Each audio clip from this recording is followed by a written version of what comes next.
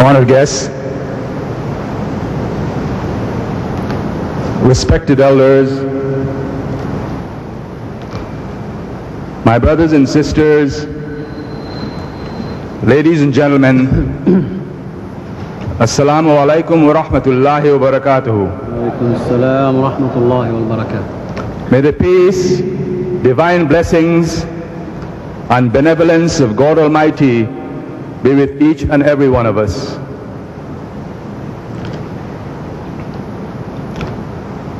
I wish to extend a very cordial welcome to each and every one of you to this, the Maple Leaf Gardens in Toronto, Canada. Before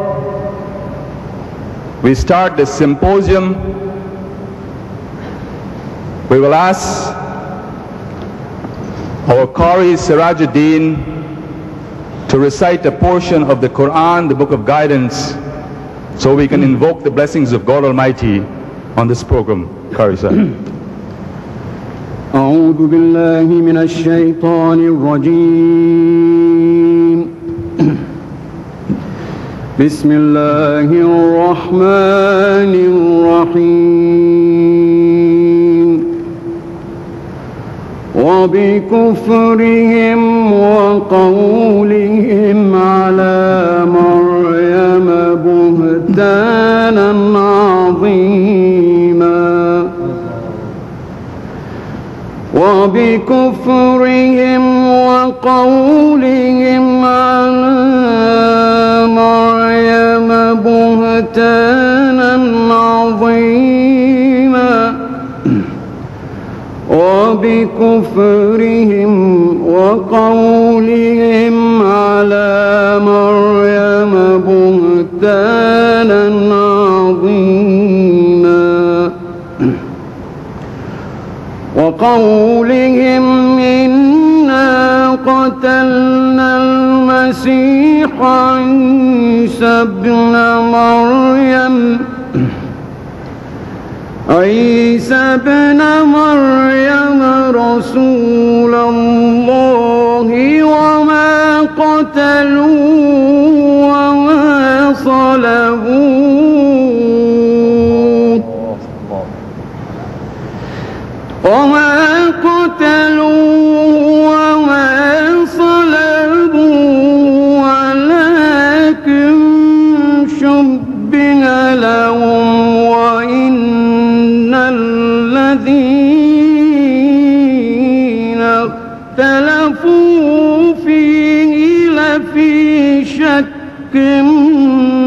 منه ما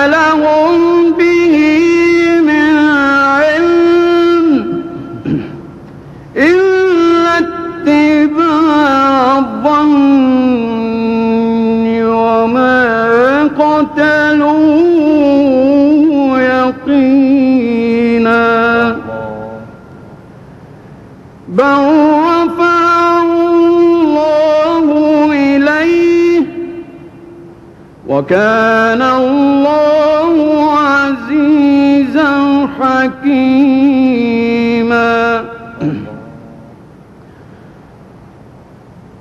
وإن من أهل الكتاب إلا ليؤمنن به قبل موته ويوم القيامة. يكون عليهم شهيدا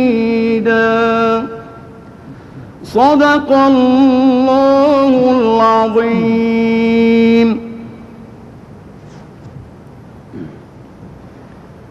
Thank you very much, Kari Sahib.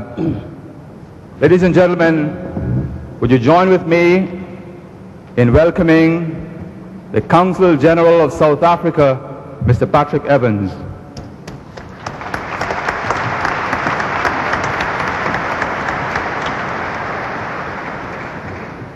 Thank you very much.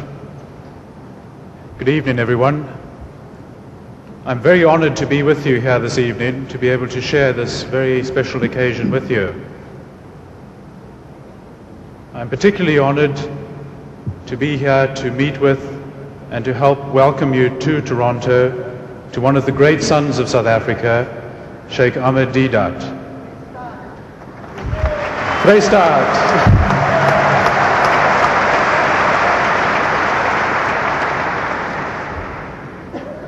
You will all have, know, have heard that we have recently found peace in South Africa, peace amongst all of our people.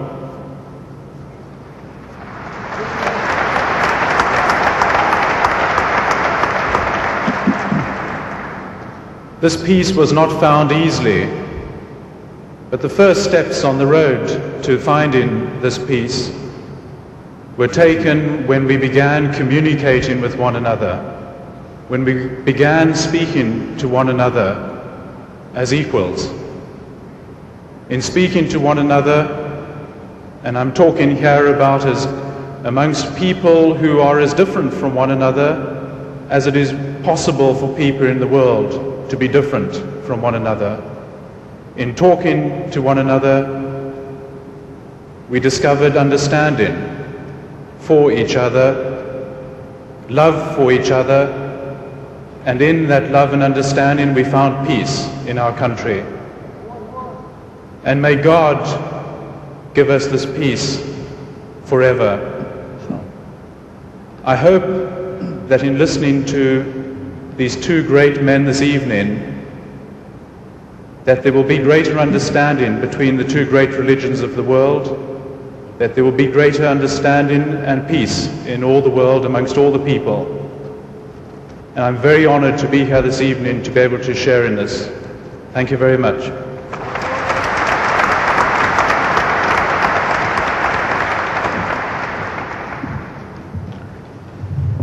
Thank you, Mr. Evans. Ladies and gentlemen, my name is Usman Khan, and I will be your moderator for this evening. As such, my task is to ensure the fair and proper conduct of these proceedings. And being a Muslim, this enhances my position, position of impartiality.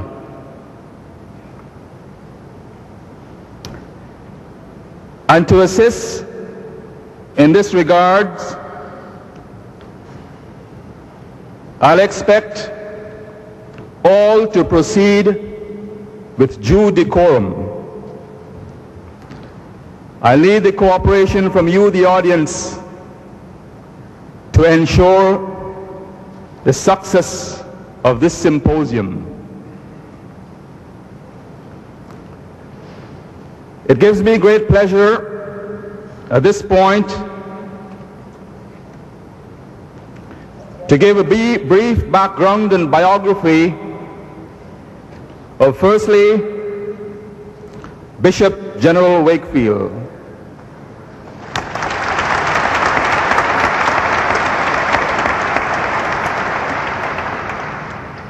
Born Bishop General Wesley H. Wakefield, an evangelist who hails from British Columbia, he was instrumental in reorganizing the home mission, which in 1946 became the Bible Holiness Movement.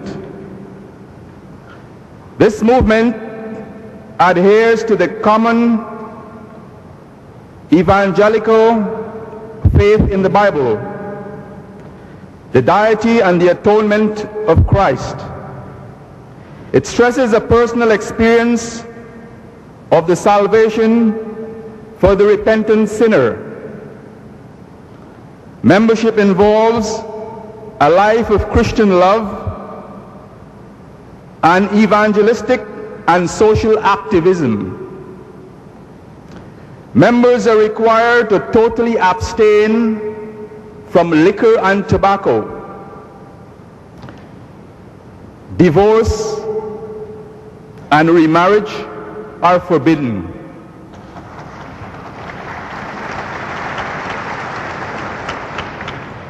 It is internationally linked to famine relief, civil rights action, environment protection, and anti-nuclearism. The movement sponsors a permanent committee on religious freedom and an active promotion of Christian racial equality. It ministers to 89 countries in 42 languages through literature, radio, and audio cassettes. It was in this movement that he was appointed Bishop General. Ladies and gentlemen, a warm welcome for Bishop General Wakefield.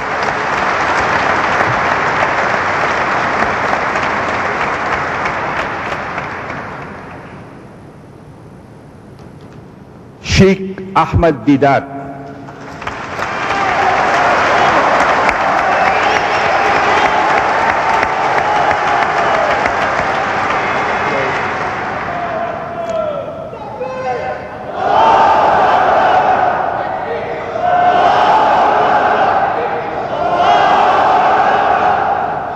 He was from humble upbringings with informal education. He had an avid passion for reading, with infused with him the zeal and enthusiasm to debate highly qualified theologists. He championed the cause of Islam and have won the hearts of thousands of millions of Muslims throughout the world. As a fitting tribute to his monumental achievement, he was awarded the King Faisal International Award. Indeed, a prestigious recognition. As an advocate of global peace, he has won the hearts of many throughout the world. Added to his accomplishments, he has published and distributed over 20 books to millions of people at no charge. He is the director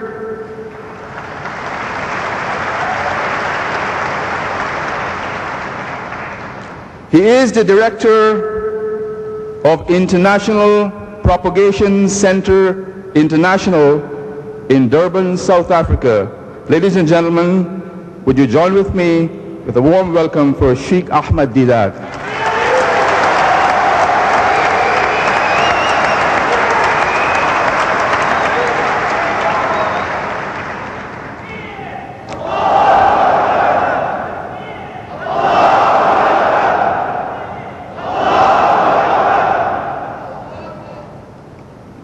My brothers and sisters, ladies and gentlemen,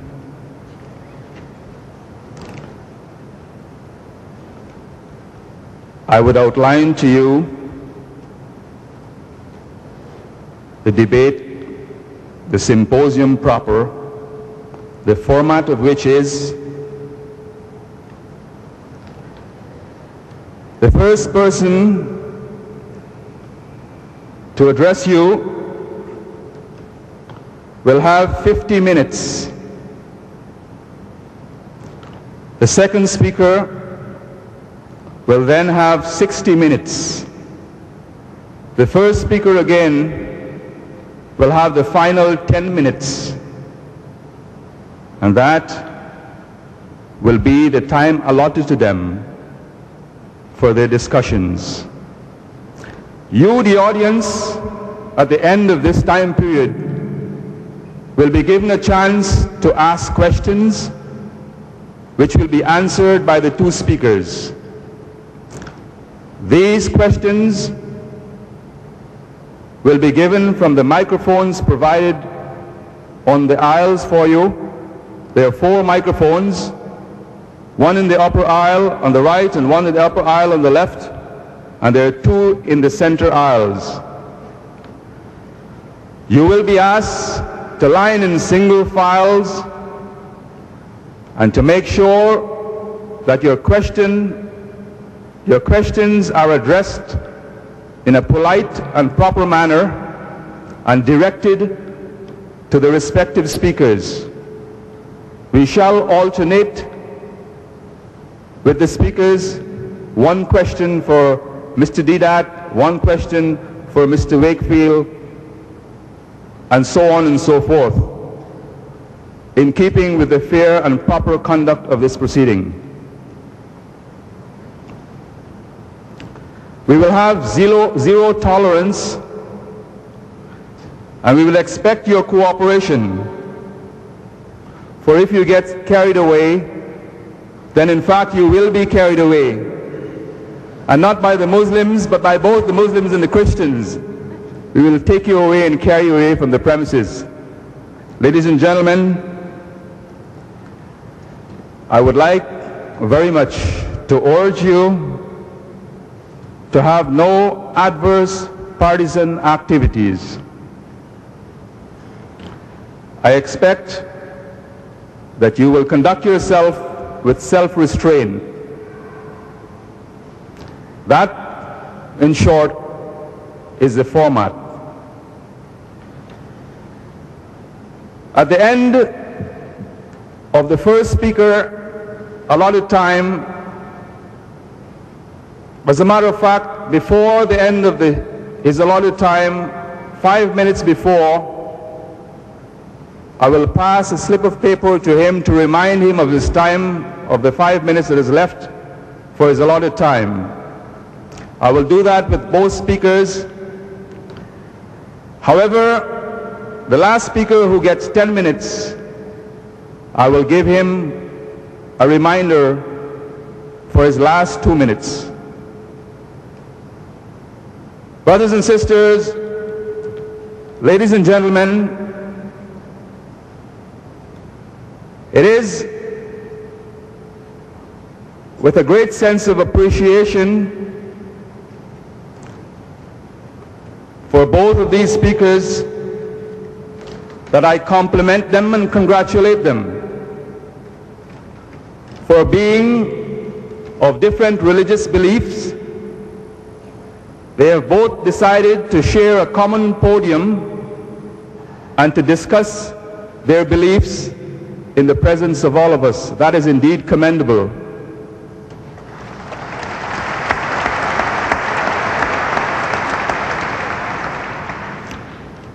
However, Bishop General Wakefield,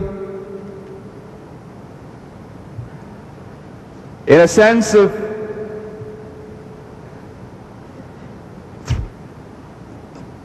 perfect gentlemanly gesture, has given the preference to Sheikh Ahmad Deedat, being a senior to him and having traveled the farthest distance to be given the opportunity and the privilege of starting the debate. I will ask Sheikh Ahmad Deedat to reply to this.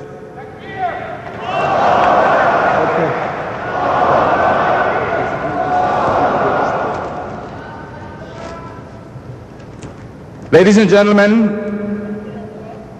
the first speaker will be Sheikh Ahmad Deedat.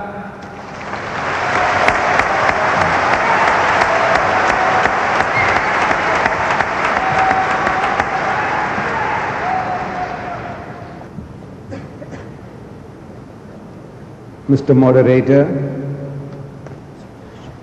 Bishop Wakefield, and uh, guests, auspicious guests, and my dear brothers and sisters. I salute you the traditional salutation of the prophets of God. the salutations of Moses, Jesus and Muhammad. In their words, I say to you, Assalamu alaikum.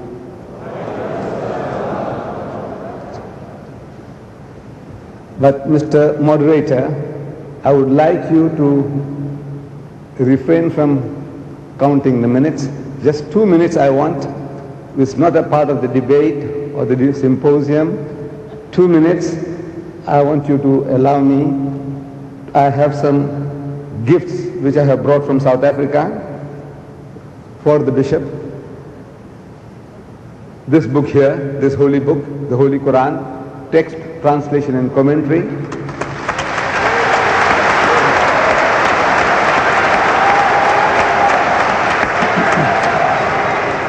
See, when we Muslims, we visit our brothers, we do not go empty-handed. So, I would like to present Bishop Wakefield with this book, uh, with the South African gold, as you see, South African gold, and I hope he will accept it in the spirit in which it is being given to him.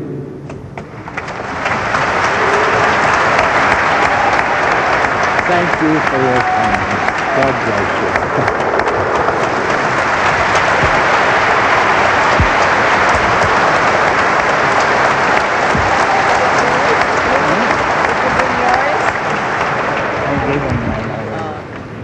I brought with me an extra copy from our own ambassador from South Africa. This new South Africa of ours makes me very happy to see him seated with me here to give me moral support and as such I want to present to him the same Quran also with South African gold. I hope he'll accept it.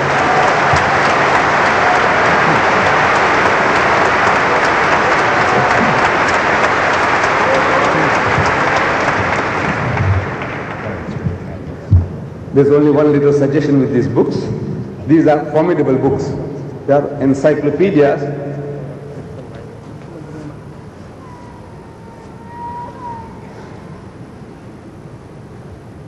Would the technician turn the microphone up, please? Thank you.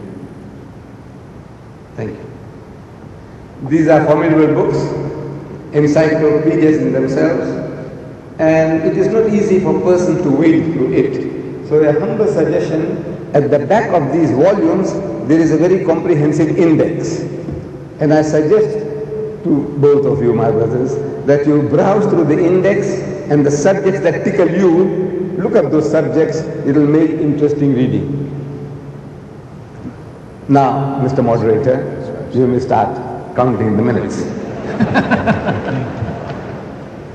I have been very, very fortunate that Bishop Wakefield has made available for me these beautiful books while I was still in South Africa. There's one here, Popular Christianity by Mrs. Christ, Christine Booth. She was the wife of the founder of the Salvation Army. She has written this book. I read through it. Then these are the books written by the, bishop himself, The Need of Another Re- Reformation, The Bible, Basis of Christian Security, all by the bishop, and this one here, Bible Doctrine. And uh, since he had the courtesy and the generosity of sending these books to me, I made it my duty to read them. And there are so many things which he says which, which I can't disagree, especially the ethical and moral side of whatever he says. You can't help agreeing with the man. But theologically, we are at variance. And reading his book, the foundation of Christianity, the death and resurrection of Jesus Christ, the atonement, the vicarious atonement, that Christ died for their sins. On page 8, he reproduces the Apostles' Creed, what the Christendom are supposed to be believing in. One section of it says that this Jesus was crucified, dead, and buried. he descended into hell. This is part of the Apostles' Creed, as written in the book, that he was crucified, he was dead, he was dead, and he was buried, and he descended into hell. Hell, you know hell? It's a Jahannam. He was descended into hell. Now, we Muslims, you know, we are not happy with that. With crucifixion, we say we can argue and debate. We can reason. But for Jesus going into hell, we say now there's only devils go to hell. But now, this is what the Apostles' Creed is. And as I proceed further, on page 40 of his book, chapter 4, the atonement. Under a subheading, the bishop says, the necessity of the atonement, why it is necessary. And in column 2 he says, all the perfection of the Godhead require a punishment for disobedience. Failure to exact the punishment would be to repeal the law and uphold evil. It would render God a liar. In other words, God must punish. The wicked or an innocent party, somebody must be punished. If he does not punish, if God does not punish, he lets you off scot-free, then it would render God a liar.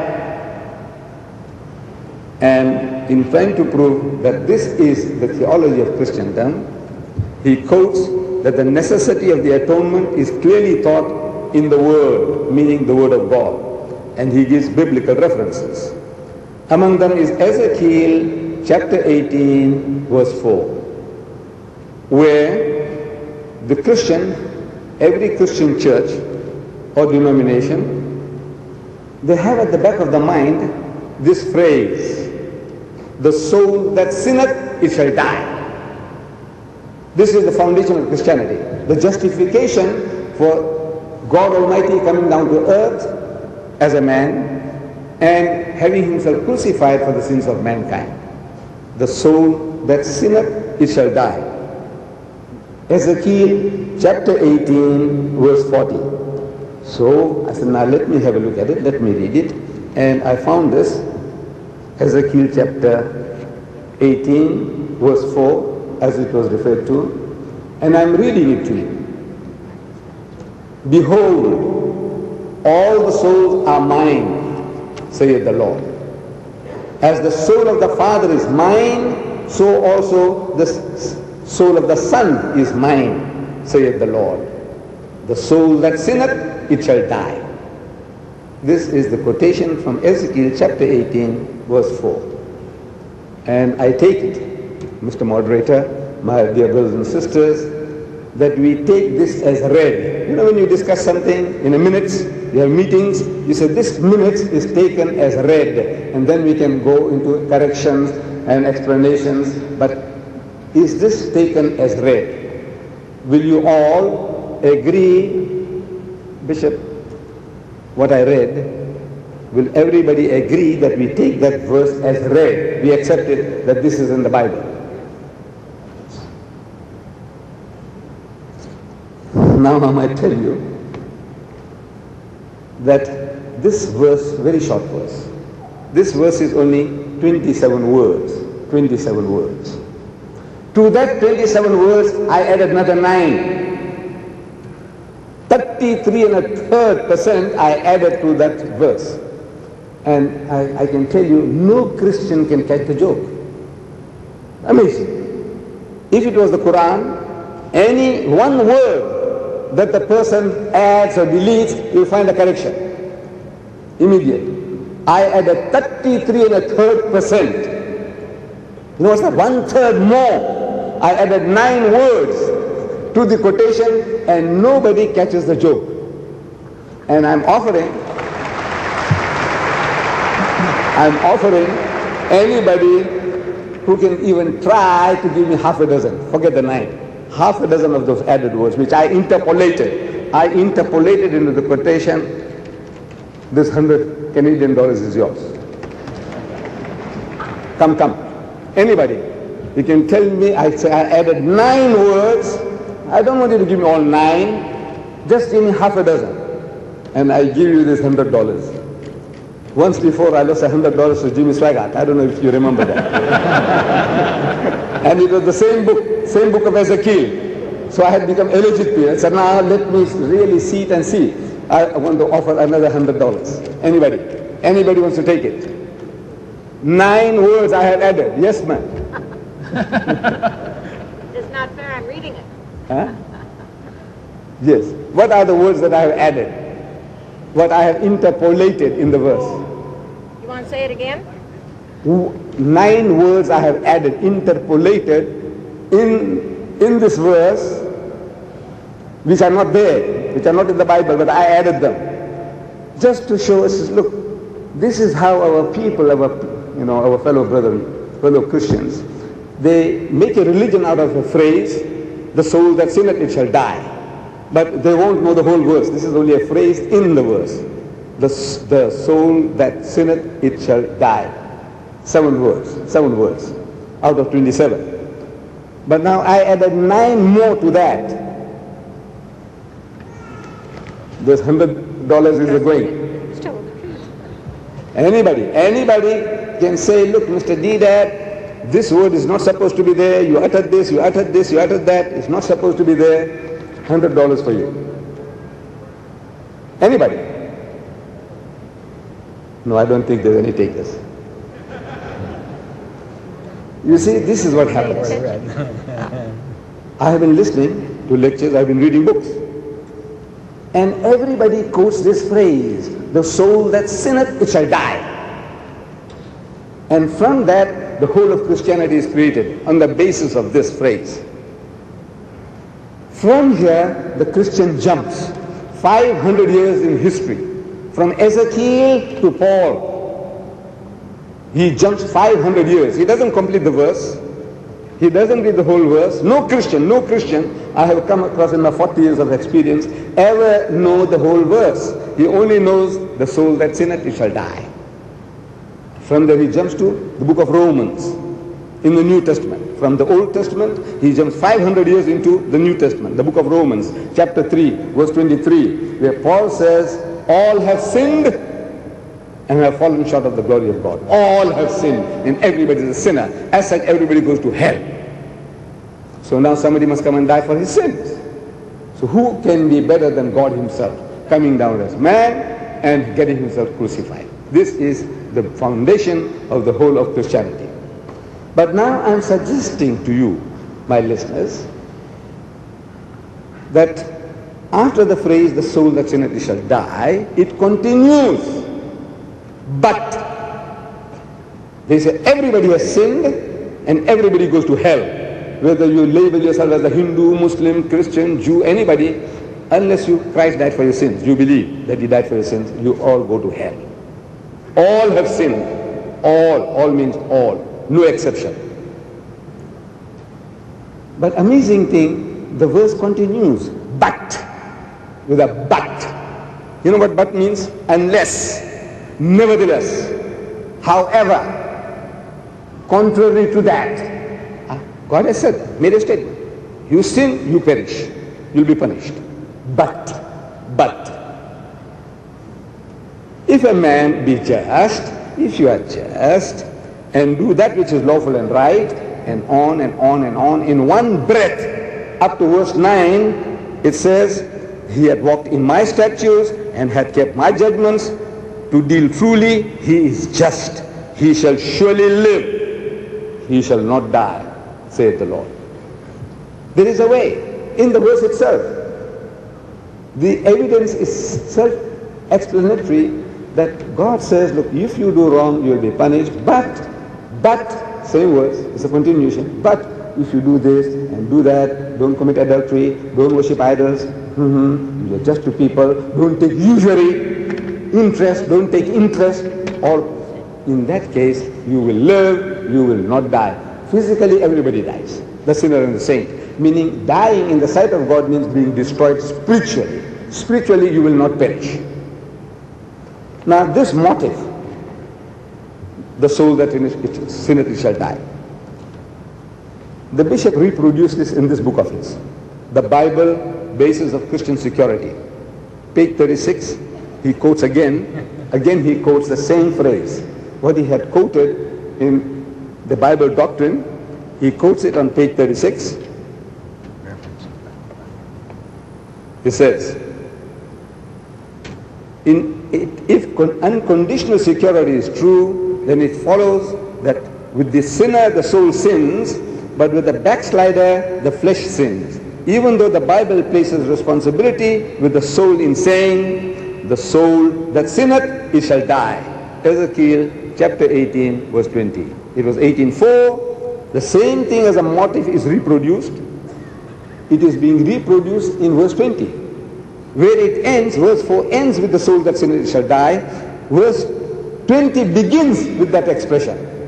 To expound to you further, give you a further elaboration of this topic. And in verse 20 it says, the soul that sinneth, it shall die. And Ezekiel didn't put a full stop. He didn't know, Ezekiel or Moses, they didn't know about commas, you know, commas and full stop and colons and semicolons and quotes. Moses didn't know anything about it, and Ezekiel didn't know anything about it, and Jeremiah, none of these people knew about comma, full stop, semicolon, colon, uh, dash, quotation. They knew nothing about it. 1820, the soul that sinneth, shall die. Doesn't stop there. He says, the, son shall not bear the iniquity of the father. The son shall not bear the iniquity of the father. Father Adam sinned. He made a mistake for which he was punished. His children are not responsible for what Father Adam did. Neither shall the father do the iniquity of the son. In other words, Adam's children today, in America, I'm told there are 25 million sodomites. They call them gays. God will not question Adam and say, look at your children, that rubbish, you know what they are doing. No, no, no. Adam is exempt from such reproaches. God will, won't ask us, your father Adam had the forbidden fruit, so you be punished for it. He won't ask you. Why did you allow him to eat? Because you were not consulted. Nobody was consulted. So God will not ask you. And nor will he ask Adam about his children today, what they are doing. So look at your children, the rubbish, worse than animals, worse than beasts of the field. What the beasts don't do, your children are doing. Hmm? God will not question Adam. Neither shall the father be the iniquity of the son. The righteousness of the righteous shall be upon him. Meaning the good thing the good man does, he will get its fruits, its rewards, its benefits. And the wickedness of the wicked shall be upon him. If the wicked man does wicked things, he gets punishment for it. But if the wicked, the salvation, how do you get salvation? One thing is sin is not inherited. In this verse, if it is the book of God, if this is the word of God, God is telling you in the clearest language, the sin is not inherited. You don't pay for your father Adam's sins, nor will he pay for your sins.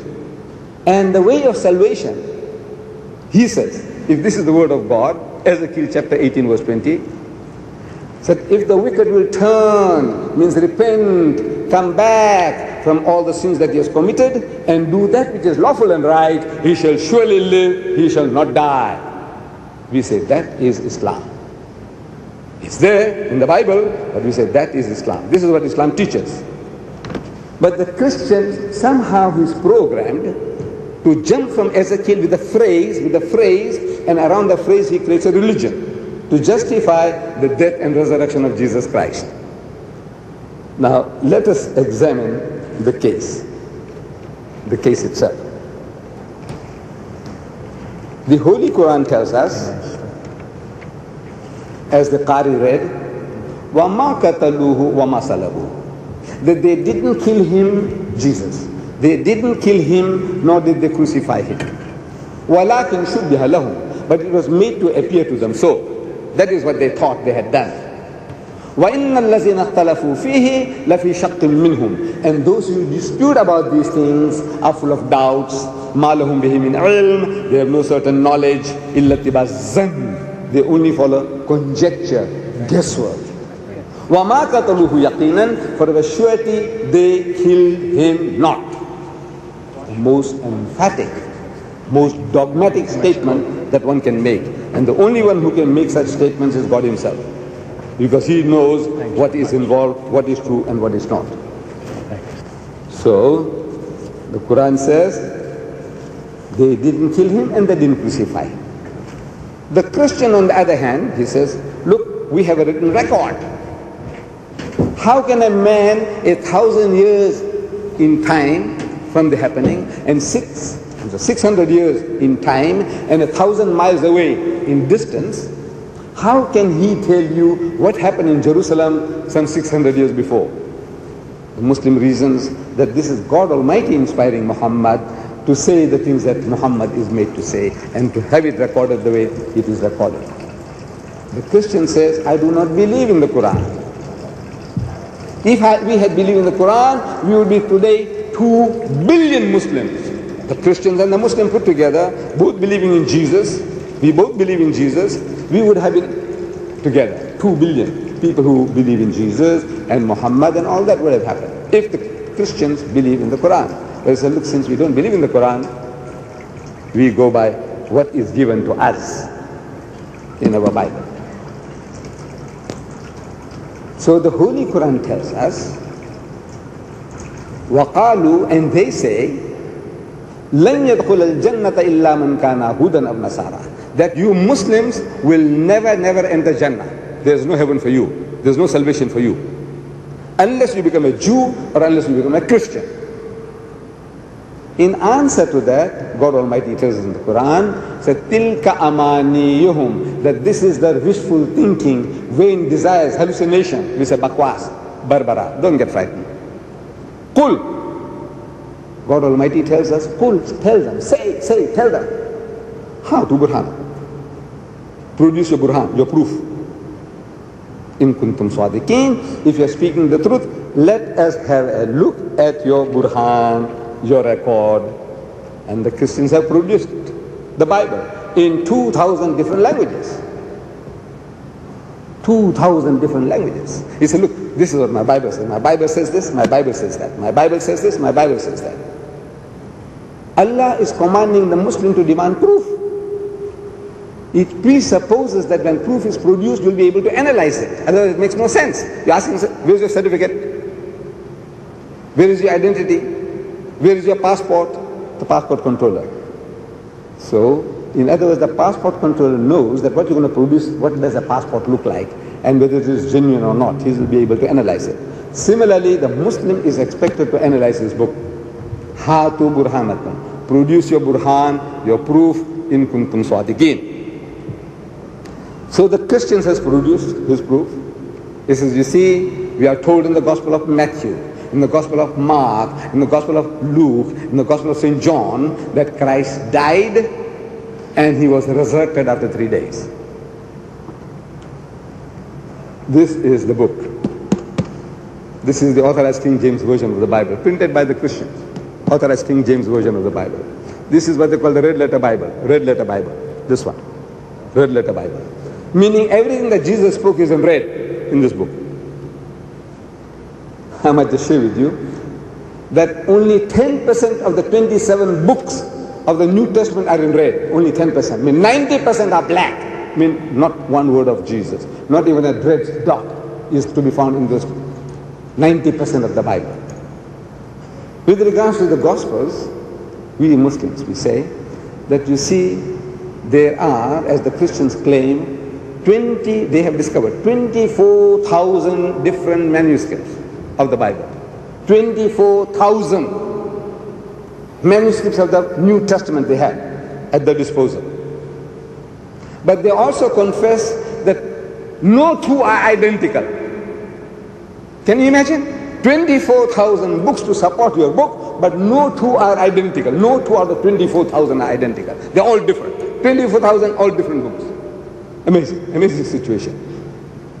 Then we are telling the Christian, they said, look, the books as you put them, as you write about them, as you address them, as you describe them, you say the gospel according to St. Matthew. It's written here. Bishop, Bishop, Bishop said, uh, it's written in the Bible, my Bible. The gospel according to St. Matthew, the gospel according to St. Mark, the gospel according to St. Luke, the gospel according to St. John. In the Bible. Every Bible has that expression according to, according to, according to, according to. I'm asking why according to? Why according to? You know why? because Matthew didn't sign his name. Mark didn't sign his name on those manuscripts. Mark, Mark didn't sign his name. Luke didn't sign his name. Nobody autographed it. Matthew, Mark, Luke, John, they didn't sign, they didn't autograph, and they didn't even put a thumbprint. So this is mine. Such a document in any court of law and in the most primitive country, any country in the world, such a document you want to present to prove your case, it will be thrown out of court in two minutes. In two minutes they throw your claim out. This will of your father, is it signed? Is it attested? Is it signed? No. Has it got witnesses? We say no. It says, go rubbish, don't waste our time. The court will throw it out. Do you know that? These 24,000 books, not a single one of them is attested. No signatures anywhere. So I said, in any court of law, in any civilized country in the world, this evidence about the death and resurrection of Jesus will be thrown out in two minutes. But where is the fun? Let's say we did just that. We did just that. You said, look, I close my case. Bishop, I close my case. Because this document, Matthew, Mark, Luke, according to, according to, according to, according to, means he, they didn't sign it. They didn't write it. It is assumed. People assume that they wrote it. There is internal evidence to prove that they didn't. But we have no time to go into that. We have no time to go into that, that debate. In any court of law, it will be thrown out. But I said, where is the fun? I said, dismiss. The meeting dismissed. Finish. Go home. Go home. Look, I have proved my case. That in a court of law, this thing, this evidence is not acceptable. And I know you won't be satisfied. You know, you took all the trouble to come to this hall. I don't know what, what sacrifices you have made. And the bishop has come all the way from Vancouver. It's not fair. It's not fair. It's not fair to him. To be gentlemanly, to be courteous, I said, let us now examine what is written. The Christians are telling us that on the day of the crucifixion, 300 prophecies, 300 prophecies of the Old Testament were fulfilled in one day. 300. You know what a stupendous thing. 300 of the things that were said in the Old Testament, how's things going to happen, this thing is going to happen, that everything was fulfilled. 300 prophecies fulfilled in one day. And what I'm saying, that the greatest anomaly, something inexplicable, that the prophecy made by Jesus himself is not fulfilled. You are bringing from the Old Testament 300 prophecies to prove your case. But Jesus himself, what he said, that itself is not fulfilled. Amazing. You, you thumb sucking, dragging from the Old Testament 300 different prophecies to prove your case, but the, what Jesus said, that itself is not fulfilled. So what you referring to? I said, you see, the Jews came to Jesus again and again. They came with poses and riddles. They were always trying to catch him out, make a mockery of him, make fun of him. Now they come to him in Matthew chapter 12, verses 38, 39, 40. They come to him, they say, Ya muallimu nuridu an nara minka ayatan. Said, Master, we would have a sign of thee. We want you to show us a miracle to convince us that you are the man we are waiting for. If you are the man of God, then do something that we can't do, and something supernatural, like walking, walking on the water, flying in the air like a bird. Come, come, come. Fly like a bird, or give life back to the dead Do something, man, that we can't do, then we can acknowledge that you are great. You are the man appointed by God. Sign. Sign means a miracle. We would have a sign of thee. يا معلم نريد أن نرى منك آية فأجاب وقال لهم But he answered and said unto them, جيل شرير وفاسق يطلب آية It's an evil and adulterous generation. An evil and adulterous generation seeketh after a sign. ولا تؤتى له آية But no, no sign shall be given unto it. إلا آية يونان النبي لأنه كما كان يونان في بطن الحوت ثلاثة أيام وثلاث ليال But the sign of the Prophet Jonah, For as Jonah was three days and three nights in the belly of the whale, so shall the Son of Man, referring to himself, be three days and three nights in the belly of the earth. What happened to Jonah? The miracle of Jonah is my miracle. He's putting all his eggs in one basket. Either he proves his case or he's proved as an impostor. The only sign I'm giving you, only sign, miracle, is the miracle of Jonah. He doesn't say, you know, blind Bartimaeus, I healed him. You know that woman bleeding with issue, bleeding continuously. She touched me and she got healed. You know I dried up the fig tree from its very roots. You know those 2,000 pigs I destroyed. You know I stilled the storm. Nothing of the kind. I healed the blind and the deaf and the leper. Nothing of the kind. This is the only sign, only miracle I'm going to give you is the miracle of Jonah. And I'm asking the Christians, what was that sign? The sign of Jonah. What was that sign? Amazing. People preach sermons, Jerry Falwell, Jimmy Swaggart, 24 hours a day I see on your TVs, you know, they're preaching away, preaching away. But if you ask them, what was that sign that Jesus spoke about? The sign of Jonah. What was that sign? Believe me, I have not come across a single learned Christian in my life yet who can tell me what the sign was. I said, you see, if you want to know the sign of Jonah, you have to go to the book of Jonah. There's a book in the Bible called the book of Jonah. But it's a very difficult book to find. You know why? Book of Jonah is only one page. In this thousand pages, it's one page. You know, it's very hard to find that one page. You're going to miss it, and you're going to miss it again, you're going to miss it again. One page, four short chapters, front and back. It won't take you two minutes to read. But I'm suggesting that you don't have to go to the book of Jonah. Every person seems to have heard the story of Jonah. Jonah and the whale. The Hindu child knows, the Christian knows, the Jew knows, the Muslim knows. Everybody seems to know about Jonah and the whale.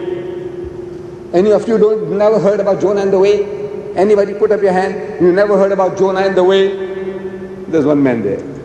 You ask your neighbor, he'll tell you what this is all about. He should. Ask your neighbor. If you don't know, ask your neighbor. The one who knows, who didn't put up his hands, ask him. What was the sign? Jonah, Jonah, according to the book of Jonah, was sent to the Ninevites, a city called Nineveh, a city of 100,000 people, some 3,000 years ago. A city of 100,000 people. God Almighty tells Jonah, go to Nineveh and warn the people that they must repent in sackcloth and in ashes, meaning humble themselves before the Lord. Humble themselves. Jonah is despondent. Said these materialistic people, like the time of Jesus, Jesus telling them, oh, wicked and adulterous generation. The wicked and adulterous generation of the time of Jonah. He said, look, if I go and talk to them, they'll make a mockery of me, they'll make fun of me. No sense in talking to such people. So instead of going to Nineveh, he goes to Joppa, modern Jaffa, Jaffa. And he takes a boat and is running away to a place called Tarshish. At sea there is a storm. And according to the superstitions of these people, anybody who runs away from his master's command, runs away from his duty, creates such a storm. Superstition. So they began to question who can be responsible because the storm is not subsiding. So Jonah realizes that he is the guilty man. He is running away from his duty. God told him to go to Nineveh and he's going to Joppa. He's going to Tarshish. So he's guilty. And as a soldier of God, as a prophet of God, is a soldier of God, and he had no right to do things presumptuously on his own. So he volunteers. He said, Look, I'm the guilty man. God is after my blood. He wants to kill me. In the process, he's going to sink the boat to kill me, but you innocent people will die. Rather, you take me and you throw me overboard, and it will be all right for you, because God is after my blood. He's not interested in you innocent people. They say, no man, you are such a good man, such a holy man. Since we saw you in the boat, in the ship, you are ever prayerful. Maybe he had the subhi, the rosary, you know, saying subhanallah, subhanallah, subhanallah. You see, Alhamdulillah, maybe he's reading Hallelujah, Hallelujah, Hallelujah, because Hail Mary wasn't there then. There was no Hail Mary at that time. So, this man is ever prayerful. Said, look man, you are such a good man, such a holy man. Surely you can't be guilty of any such crime. Maybe you want to commit suicide. You want us to help you? He said, no, no, no. We have our own system of finding out right from wrong. And that is what they call casting of lots. Meaning throwing, the, like tossing the coin, head or tail, head or tail. And according to that casting of lots, it came to the turn of Jonah that Jonah was the guilty man, as we read in the Bible. So they took him and they threw him overboard. I'm, I'm asking that when they threw him overboard, was he dead or was he alive? But before you answer, I want an answer from you all. But before you answer, I want you to realize that the man had volunteered. He said, throw me. So when a man volunteers, you don't have to strangle him before throwing. You don't have to spear him before throwing. You don't have to break his arm or limb before throwing. The man volunteers to throw me. So when they threw him overboard, was he dead or was he alive? I want an answer from you all. Was he dead or was he alive?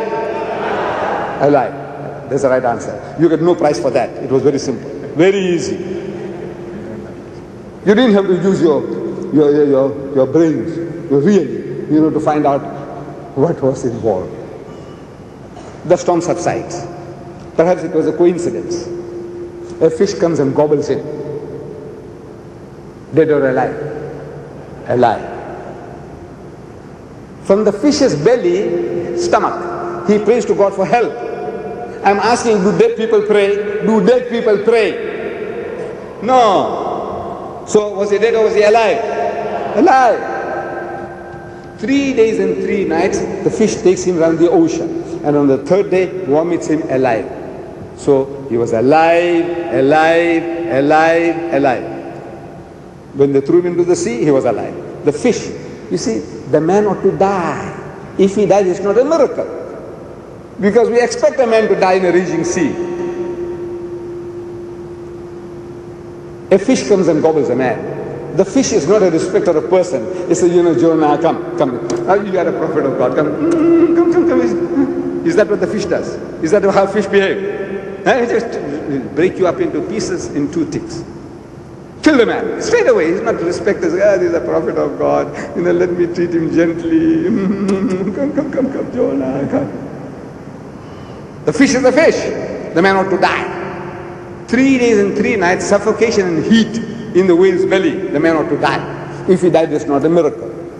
If he died, it's not a miracle. When the threw him into the if he died, not a miracle. Fish gobbles a man, if he died, it's not a miracle. Three days and three nights, suffocation and heat in the whale's belly, if he died, it's not a miracle. So this is the miracle of miracle. The most outstanding miracle in the Bible. Three times over. Over.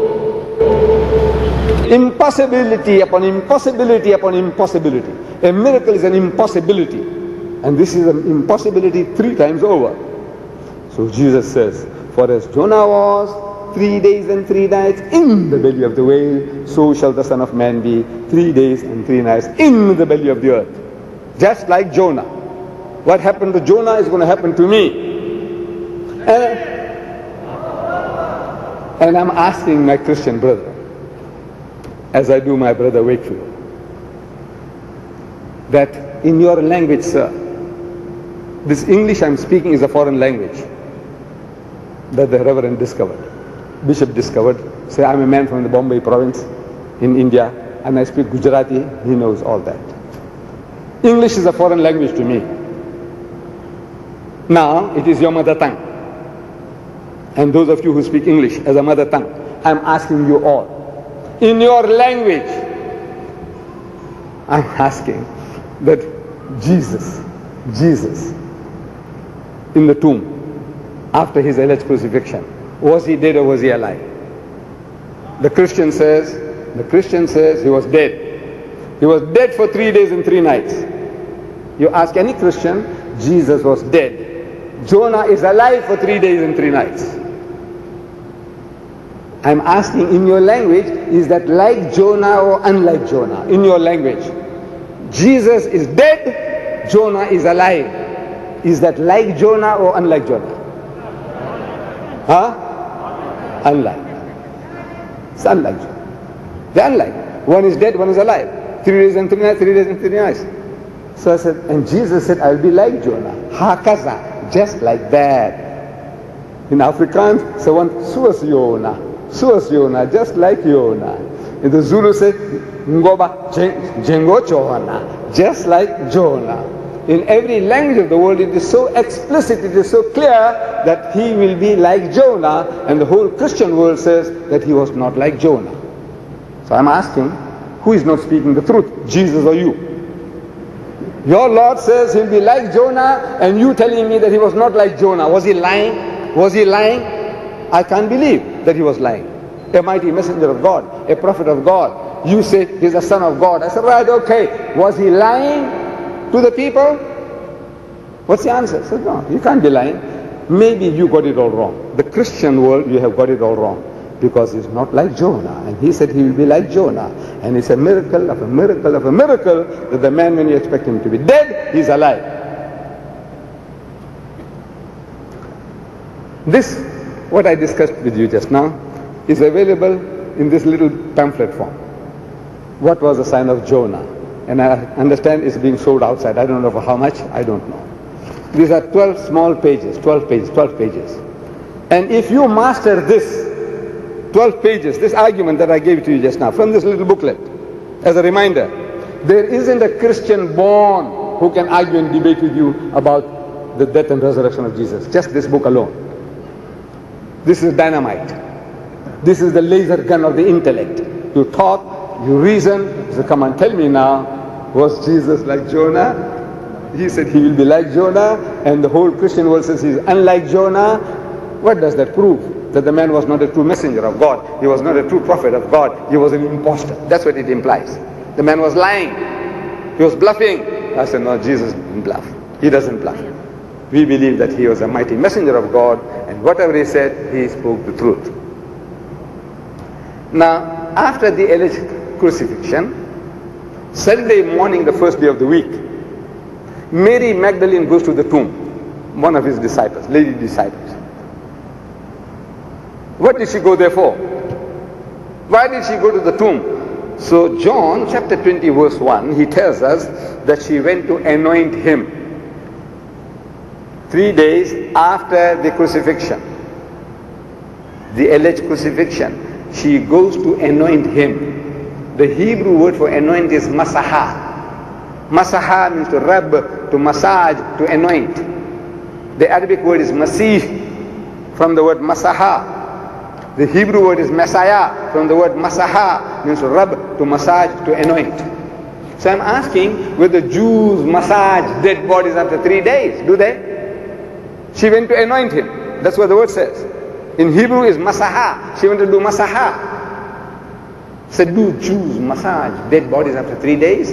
You know, within three hours, rigor mortis sets in. The hardening of the cells, the decomposition starts taking place. In three days' time, the body is fermenting from inside. Such a fermenting body, you go and massage it, fall to pieces. Does it make sense? That she wants to go and massage a dead, rotting body? Give a massage. Huh? We Muslims, we are the closest to the Jew. Do we massage dead bodies after three days? Do we? No. And I'm asking the Christians whether you Christian massage dead bodies after three days. Do you? Do the Christian, any Christian, any Christian here, I don't know. I said, whether Christians massage dead bodies after three days, do they? The Christians, do they massage dead bodies after three days? Do they? Dead body, rotting body, do they go and massage it with olive oil or anything else? No.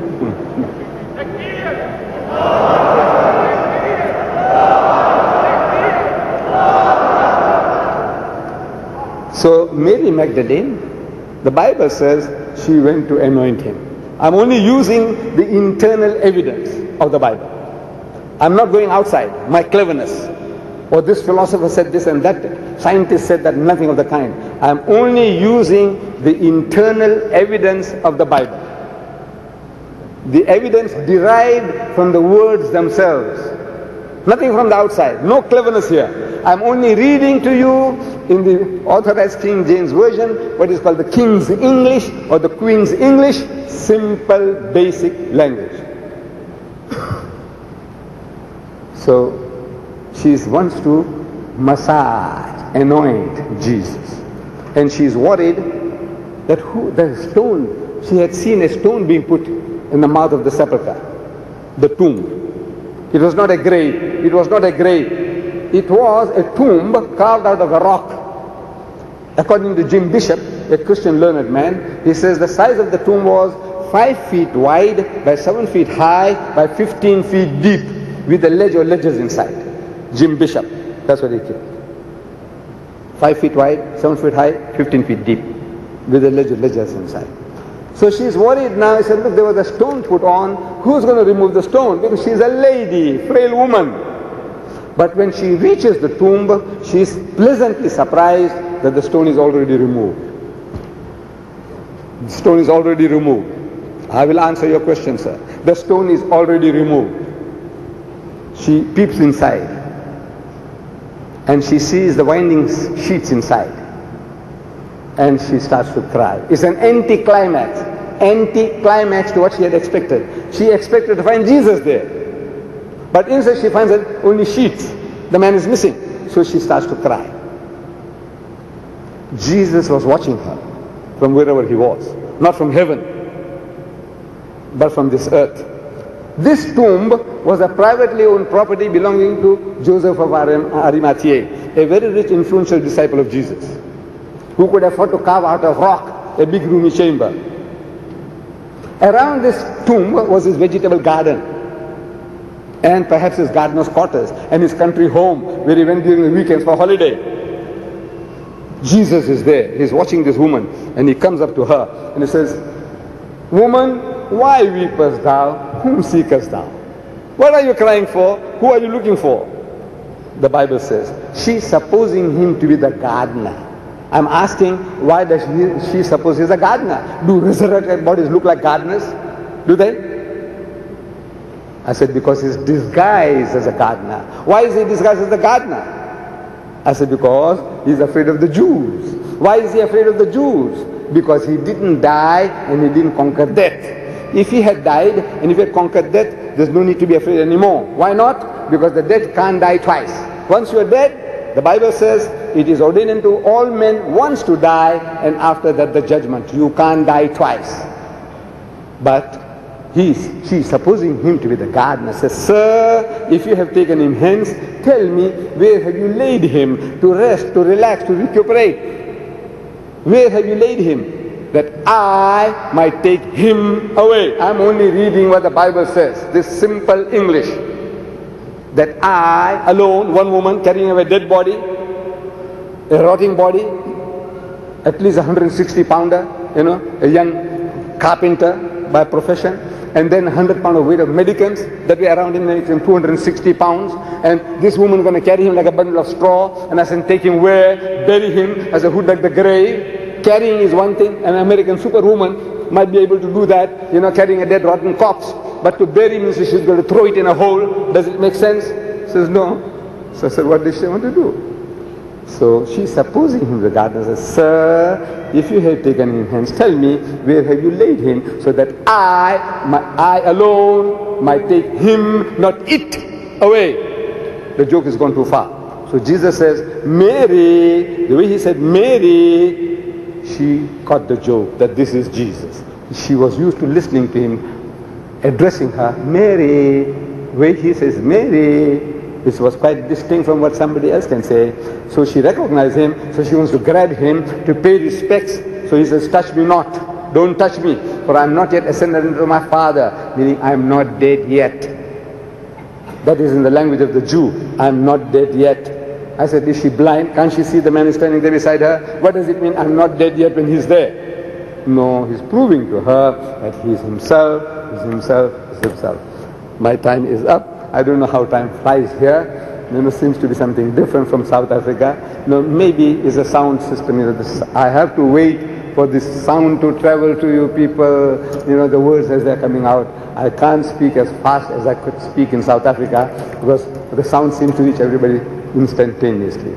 So, thank you very much for, thank you.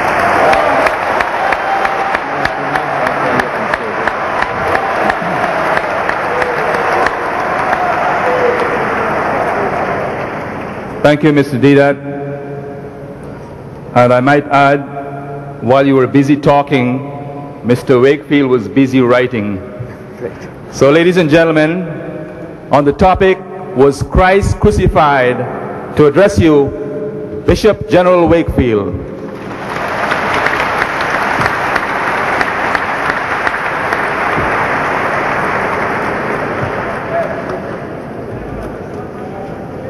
I would like you for a moment to not think of me as any title at all. I am your brother. I am your brother in the flesh. God has made of one flesh all nations that dwell on the face of the earth. You are my brothers and sisters.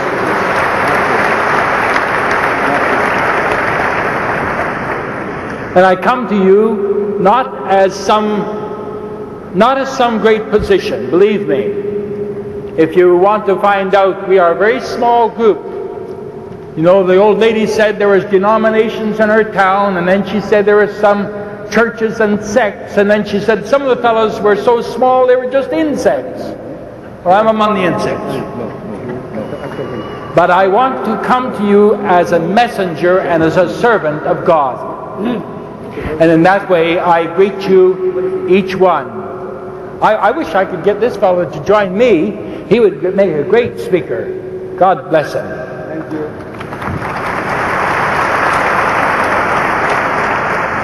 And I really appreciated Brother Deedat's kind gift. Thank you so much. I would address you in the name of God, most gracious, most merciful, Oh, send out thy light and thy truth. Let them lead me. Let them bring me to thy holy hill and to thy tabernacles. Amen. Amen. As we enter this, I would like to talk to you and give you an overview of a committed Christian Jew. I am not a popular Christian. Popular Christianity, nominal Christianity, I have no part of. Let them hang, follow for themselves. But my end is a committed Christian Jew. Was Jesus crucified? This hinges on another point, and Brother Deedat very well brought it out at the first. It hinges on the view of the atonement. But let me begin with something that may be, be appreciated by us all, whether we be a Jew whether we be Islamic or whether we be a Christian. You remember the story of Abraham when he offered up his son by the word of God, and when he was about to slay his son, an angel spoke to him and said, Abraham, I've seen your faith, I've seen your determination, I've seen your obedience. And he provided a substitute for the Son. The Quran has several translations in the English language. Unfortunately, I cannot read Arabic. I can't even read my mother tongue of Irish. So I'm a little handicapped, am I?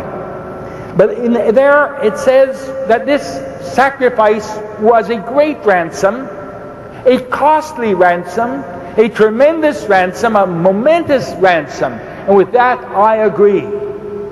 In fact, when I look at Abraham, let's take away the labels from ourselves for a moment. Because some of us, we think, oh, Islam is our label.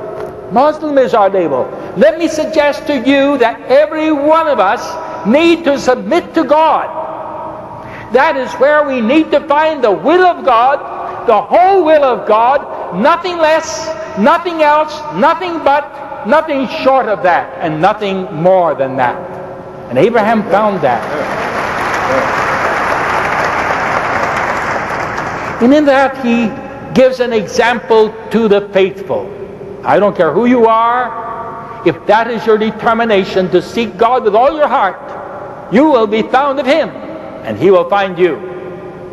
But in this story, he gives this emphasis of a what happened? There came a, a little ram in the thicket that took the place of the Son. It was a substitute. It was a ransom. Now, we know that in one sense, no little animal is truly a ransom for anyone, and this was a sin offering. I didn't say so, the Word of God says so. And in this sin offering, it gave a picture of something greater to come. That is the Christian viewpoint. And then we find in the we find one problem in man's life. Sin must either be punished or pardoned. This is the truth. And you might say, well, now we're here, we're here like a jury, are we not? But I'm going to fire you off the jury. You're no longer on the jury. We are here. Truth is not on trial. You and I are on trial. God is our judge. And someday we all have to face that judge with an account of the deeds done in our body, whether they be good or whether they be bad. Now, in our course of discourses tonight, you'll find some things that we agree with, and some things you'll vastly differ with. But all I ask you is to submit them in earnest prayer to God and say, God, lead me. Help me to submit to thy will. I have no other request of you. But as he, he looked upon this, he saw here not only man's accountability to God, that's not only what we teach, we teach the problem of sin. And when I go to God at the final judgment, which I believe is imminent, it can happen any time. It can happen the moment I die. That is my next event, is it not? In that final judgment, I won't go there to be a partner with God. I can't have the presumption to say, look, I've been in the ministry. It's worth something. It's worth so many brownie points. It isn't, friends. All that we do, all that we good we do, is only by the grace of God and by the help of God.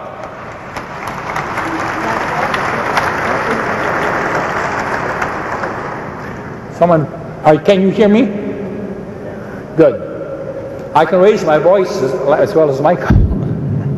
All right. It's only by the grace and help of God that this happens.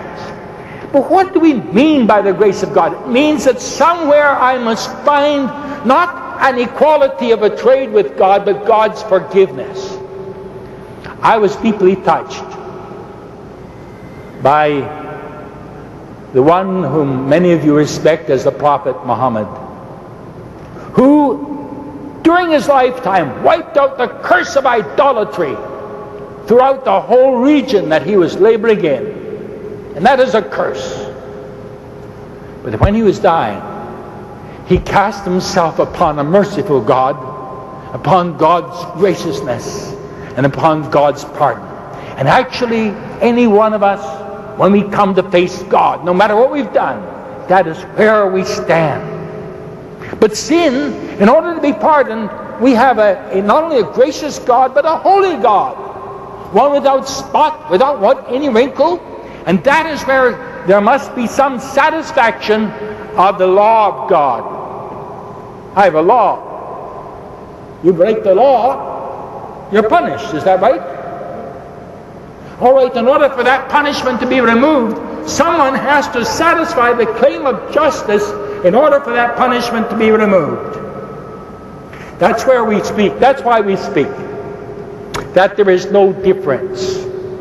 For all have sinned and come short of the glory of God. That's in the book of Romans, in the Holy Scriptures. And in that book, the reason he said there was no difference was there was so many said, well, because I am such and such, because I belong to such and such, therefore I am uh, much better.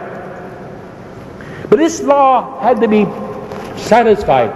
Now, the ancient Jews, they, they had a sacrifice, a sacrifice of atonement. They had a sin offering, a transgression offering, and they, they were seeking the mercies of God, recognizing that they could not obtain these mercies on their own worth.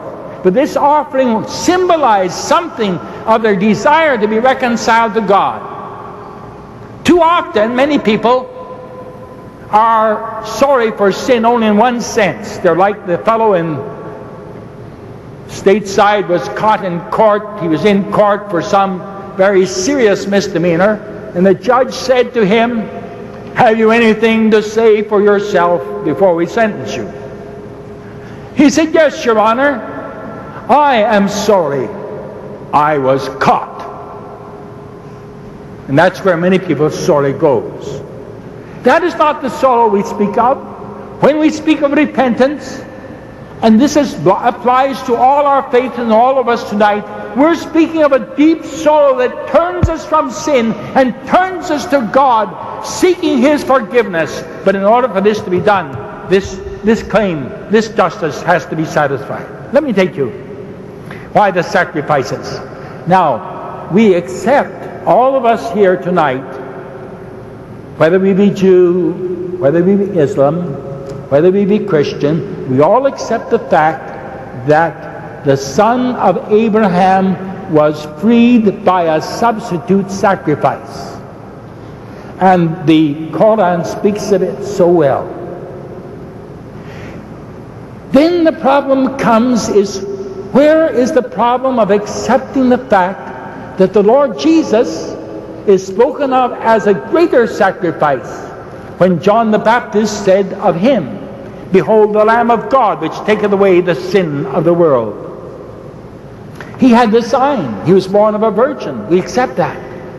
He had another sign. His name would be Wonderful Counselor, the Mighty God, the Everlasting Father. This was of the Son that was born.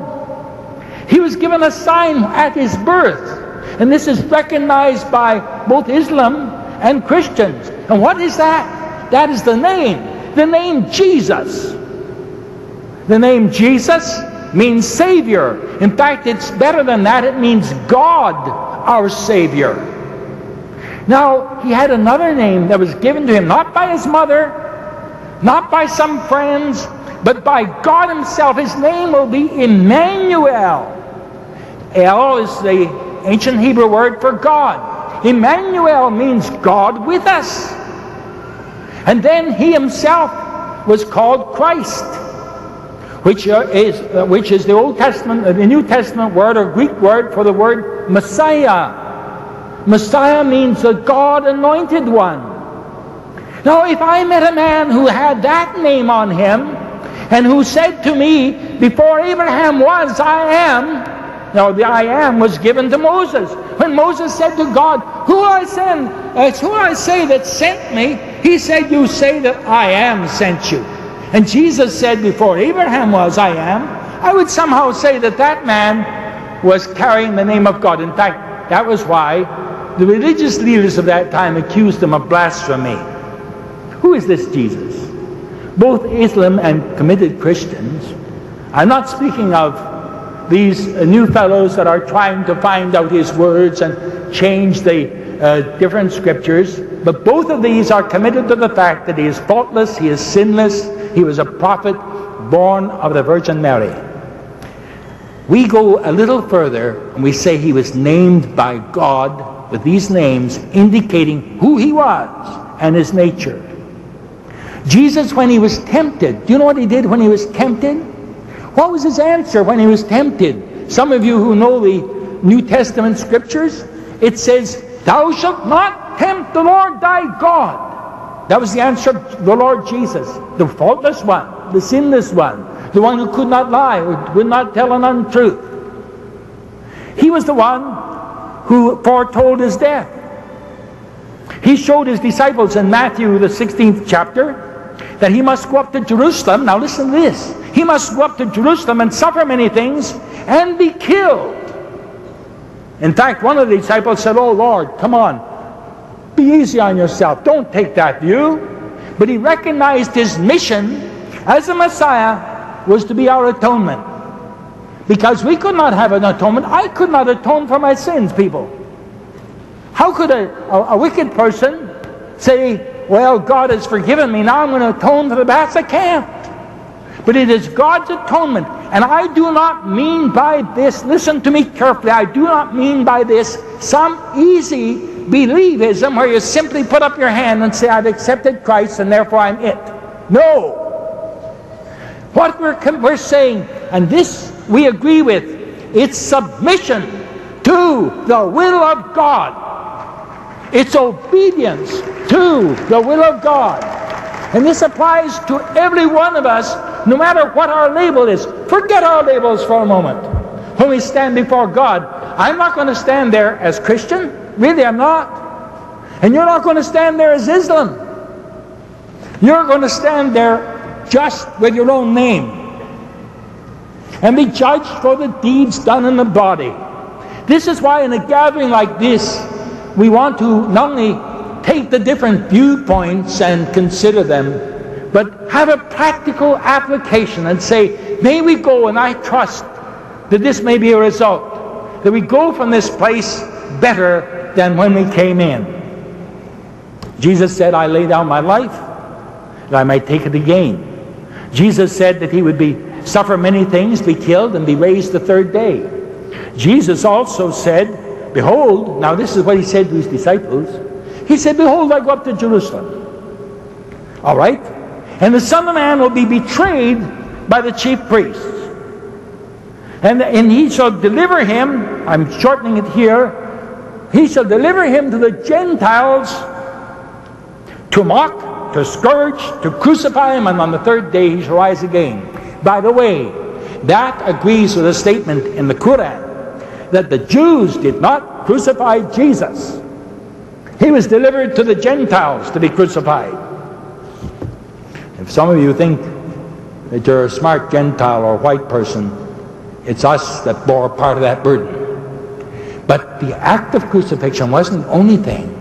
It was the burden of the fact that he was dying, dying for the people dying just like the lamb for the substitute.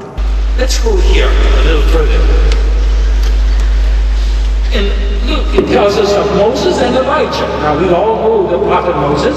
We know the prophet Elijah. We all recognize him.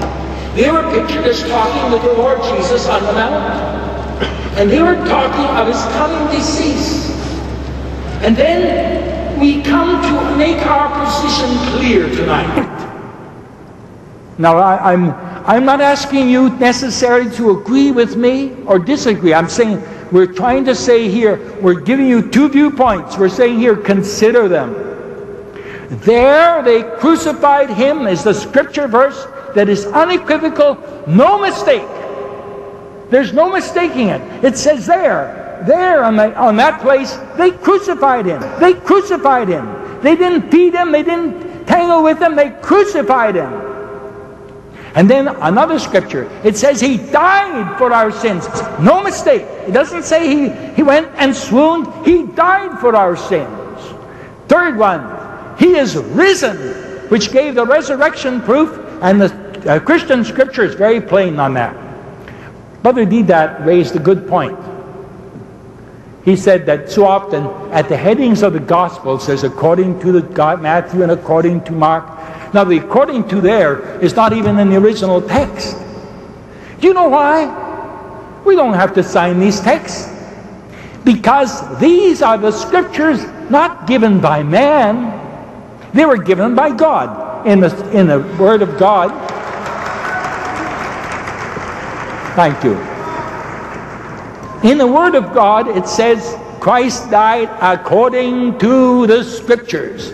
He rose again according to the scriptures. That's where we take our position.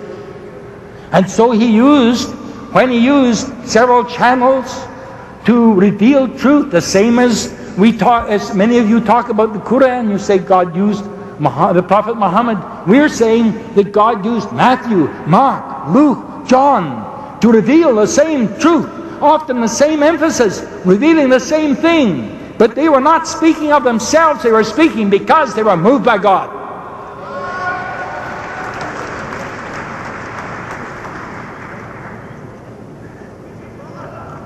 We want to get another little point. Uh, maybe I'll take you to the sign of Jonah. My good brother had Jonah well thrown over. Can we throw him over again? I, I don't know whether we should throw the poor fellow over twice. But look, I'll, I'll explain to you. My view to his is very similar. I believe that Jonah was a sign. All right? Then you say, what? But we were listening to Brother Deedat give his explanation of it, and it was a very able explanation. I know that. But I'm going to give you a little different view. I go down, I see Yonge Street out here somewhere, and they have a sign up there, Yonge Street. So I grab this sign, I come under. I have the sign.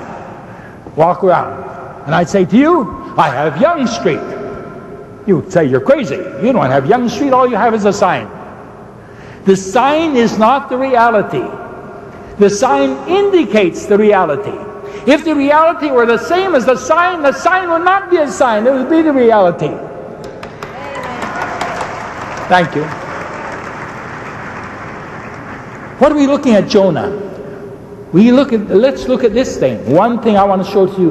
When Jonah was thrown overboard, he went over willingly. He went over as a, as a sacrifice to save the people on the ship. They were saved because he threw the, they threw them overboard. Otherwise, that ship was going down. So they were saved by a substitute. Now, Jonah is not exactly like the Lord Jesus. And Brother Deedat would agree with this because Jonah was thrown over because he was a bad backslider.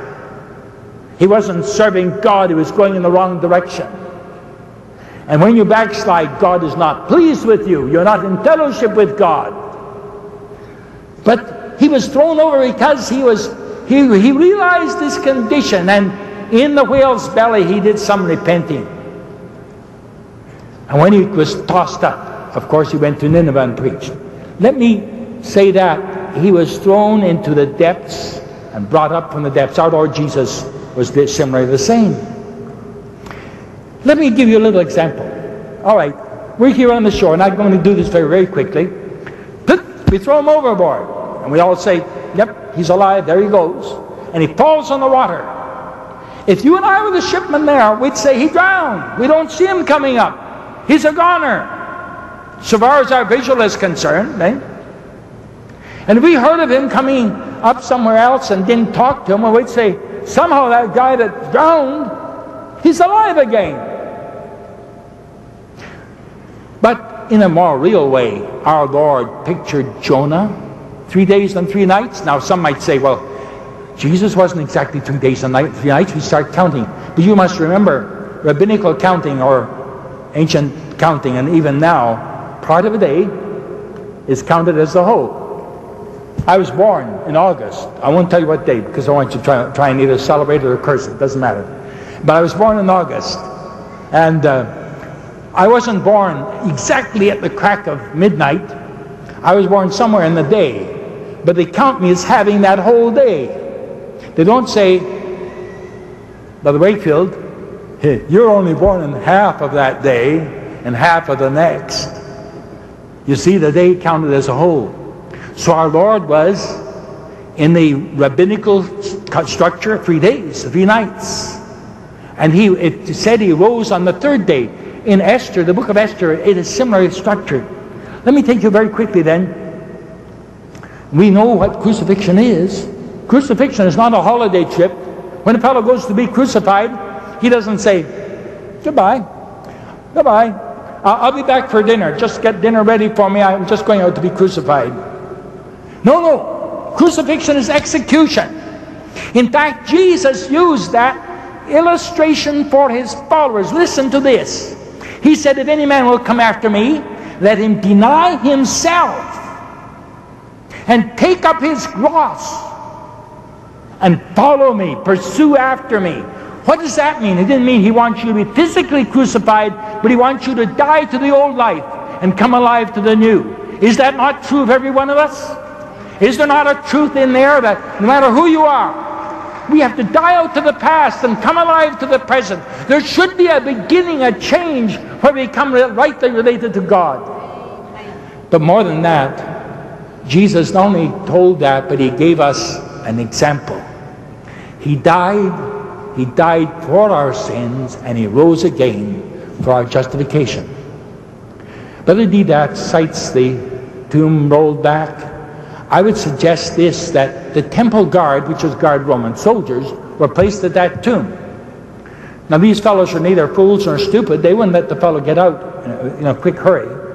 Nor was the fellow that was the centurion by the cross, a Roman soldier, letting him get off on the cross in a swoon. The last thing he did was thrust a spear in him. And that wasn't a, he didn't, it didn't say he thrust a, a needle or a pin in him. It was a spear, it went right in. It thrust him through with a spear, and that's a death sentence. If anything else was, he was beaten at least 39 times with, a, with an embedded whip. We know that. And you say me, he's going to swoon and come alive again? No, because he also had this, that he was bearing in himself a sense of our sins. He was dying as our lamb, as our magnificent sacrifice. Not excusing us, not excusing us, but enabling us. I'm glad Brother Deedat quoted the rest of that verse in Ezekiel. Because I believe it. I believe it. And I believe this if you don't live that way, you will never make it. He suggested that uh, Christians have no heaven for Muslims. So I'm going to be one of the Christians that's going to differ. I will tell you the heaven is open for every man who will submit to God and walk in the light of God's truth that God reveals to him.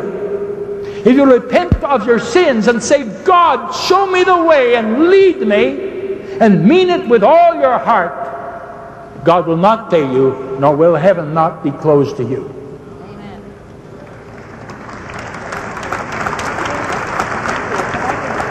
Did Jesus die? The Bible says he gave up the ghost. That means he gave up his spirit. Now, let's take a look. And I'm, how am I doing for time, brother? Good, good. I hope I'm not talking too fast. I sometimes, my wife slowed me down a little. She said, don't go at 100 miles an hour in your language, but we'll try and slow down. Listen, when he rose, there were several instances where he appeared to people. You know, and one of them was, as my brother Deedat so, so, so eloquently illustrated, Mary.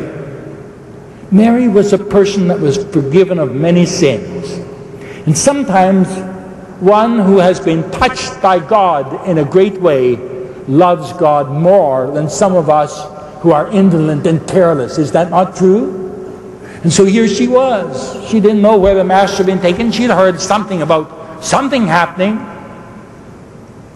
She'd heard some talk about him not being there, but it hadn't penetrated her mind of what had happened. The jailers, uh, the, the, the men guarding the tomb had fled into town. The, the seals were broken, and their life was on the line, so they were paid by the religious leaders to give an excuse. But what was about her? What did he mean, touch me not? The original is, don't cling to me. She was already, you know, at his knees. She was already there. She said, Oh Lord, I see you. She wasn't just standing back looking at him, she clung to him. He says, Mary, don't cling to me. Don't touch me this way. Touch me not. Because I am going to I haven't, I, I haven't, I'm not going to my father right away. And we know that he went to his father. By the way, being ascended to his father, I don't know, Brother that where you got that about dying, but I haven't found it yet. God bless you, though. If you can find it, that's good. But generally, when they died, they gave up the ghost, or they, they bowed their heads and died. But this ascending to his father, there was one illustration in the Old Testament. Let me tell you one illustration. Elijah, the prophet, was caught up to God. He ascended. Enoch, the godly man, he ascended. He was, was not. God took him without the gate of ordinary death. Our Lord Jesus said, I've not ascended. I'm not going to leave you right away. And for a number of days, for 40 days, in fact, he gave witness to each one. He went to a room where these disciples were gathered in fear of the religious leaders. And he goes in and says to them, Shalom, Salam, peace be to you, Pax Vobiscum. And they, they were afraid. they thought, is this a ghost? Is this a spirit? And so he said, touch me, look at me, hear me. A ghost does not have this. It does not have a body like this. It's not something invisible. I'm not some ghostly angel. He said, give me some food. Give me some food. Now, why, why, why take food if he was, you know, the food he took was proof of his resurrection, to my mind. Because when he took it and ate it, he was showing he had a resurrected body. Oh, someone says, no, he couldn't have eaten food because uh, uh, resurrected beings don't eat food. But the Bible tells us that angels eat food. When Abraham met the angels who told him the story of the wondrous thing that was going to happen in his life, the blessing that was coming to him, he served them food, and the Bible says, the Word of God says, they ate it. So if angels can eat food, I'm sure our risen Lord could. And that comforted his disciples. Then Paul says 500 others saw him. And then at the day of Pentecost, if they had a body or if they had a corpse or if they had a, a stiff of some sort, why didn't they produce him? Peter, the coward, the man who denied the Lord, he was recovered and he stood on the day of Pentecost and preached. And they heard him. Many were converted. One other thing. Paul, he was called Saul. That was his Hebrew name. He was on the way to Damascus to, to persecute and, if necessary, kill Christians. He hated them. But something happened to him on that road where he saw the light. He cried out to God, Who art thou, Lord? And then he said, Lord, what wilt thou have me to do? Because that voice said, I'm Jesus, whom you are persecuting. He had no reason to believe that Jesus was raised from the dead or that Jesus crucified because there's no advantage in it for him. He would be met off as he was. He had the position. Why, in fact, he paid for it with his life. Then we come down to one other thing. Brother Deedat very kindly touched on the word anoint, and I, maybe I can touch on it again. Now, I, I'm, I do not mean to be, I, I don't want to be unkind. Please don't misunderstand me. But I find it a little hard to uh, take the word anoint as rubbing a body when it comes to kings. Like uh, David was anointed king, I don't think they gave him rub down. They just anointed him. And, um, and they used to anoint bodies. In fact, the undertaker still does some performances, and in some religious faiths, they still anoint the body with, with uh, perfumes in honor of the dead. And so this is what I see as Mary doing. What does all of this mean to us, though? It means that here we have open to us a grand opening of coming into a vital personal relationship with God. I don't care who we are. You say, well, I don't believe, I don't believe all of that. I'm going to ask you, just believe the one thing and say, I'm going to submit to God. I'm going to follow His ways. I'm going to turn from everything that is wrong. And don't tell me this is a Christian country. This is a pagan country. Real Christianity does not practice wrongdoing.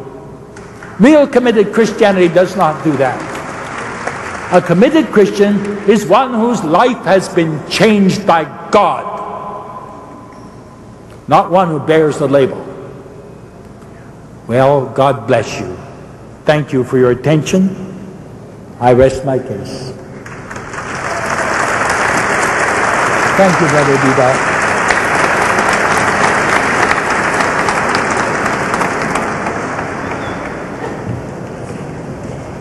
Thank you very much, Bishop Wakefield.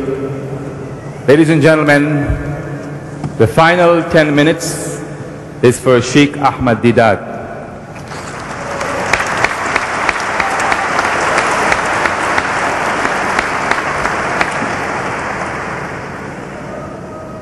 Mr. Moderator and my dear brothers and sisters, I'm grateful for this opportunity to complete the one hour allotted to each.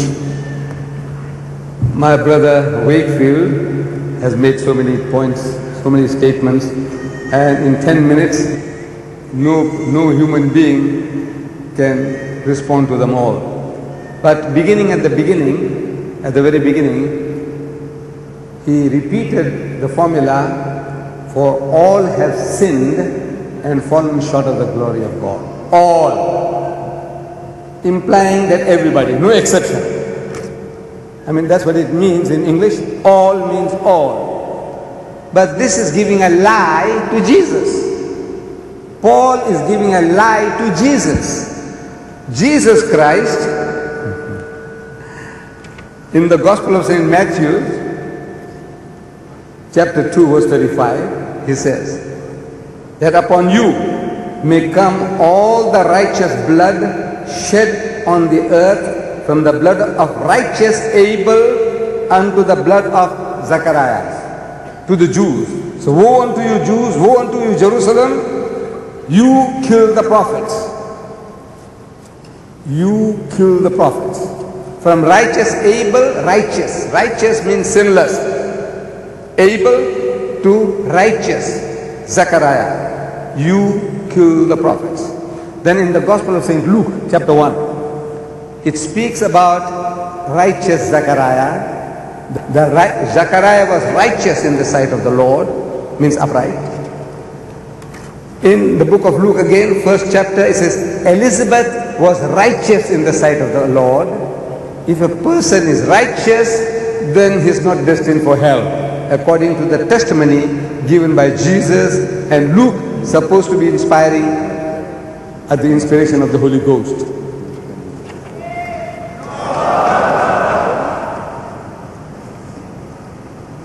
Uh, with regards to the fulfillment of prophecies, the bishop said that, you know, Jesus was the Almighty God, the wonderful counselor, and he called Emmanuel, Emmanuel, called Emmanuel, Jesus. Here, I have this Bible here. It is the same Bible as I take it as you have, King James Version. There are 27 books of the New Testament, 27. And in those 27 books, Nowhere is Jesus ever addressed, he shall be called. That means you shall take his name. He shall be called Emmanuel. Nobody ever called him Emmanuel in his life. I would like to see somebody.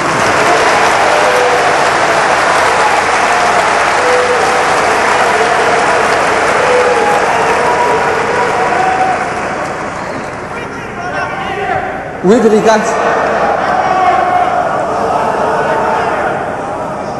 with regards to the expression I am, I am, that Jesus said I am, and God said I am, God didn't say I am. He said Eheye. When Moses asked him, What is your name? He said Eheye Asher Eheye. That is in the Hebrew language. This is what God gave him. Eheye Asher Eheye means I am whatever I am.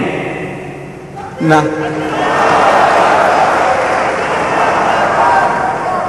now the translation into the Greek Bible, in your Greek manuscripts, that I am is ho on, ho on, I am, ho on. But in the New Testament, the Greek translation says that I am is ego eimi, ego eimi, coming from the same Holy Ghost. I can't understand that if that I am stood for God, for Jesus also it should have been ho on and not ego eimi.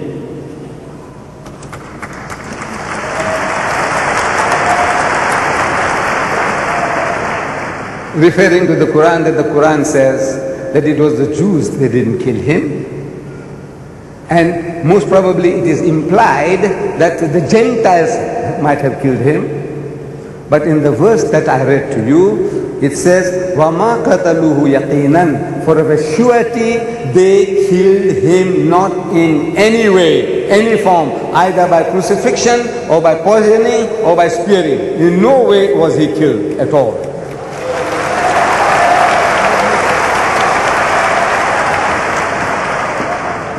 Three days and three nights. You see, the Christians say the miracle of Jonah is not that he was dead or alive, but the time factor.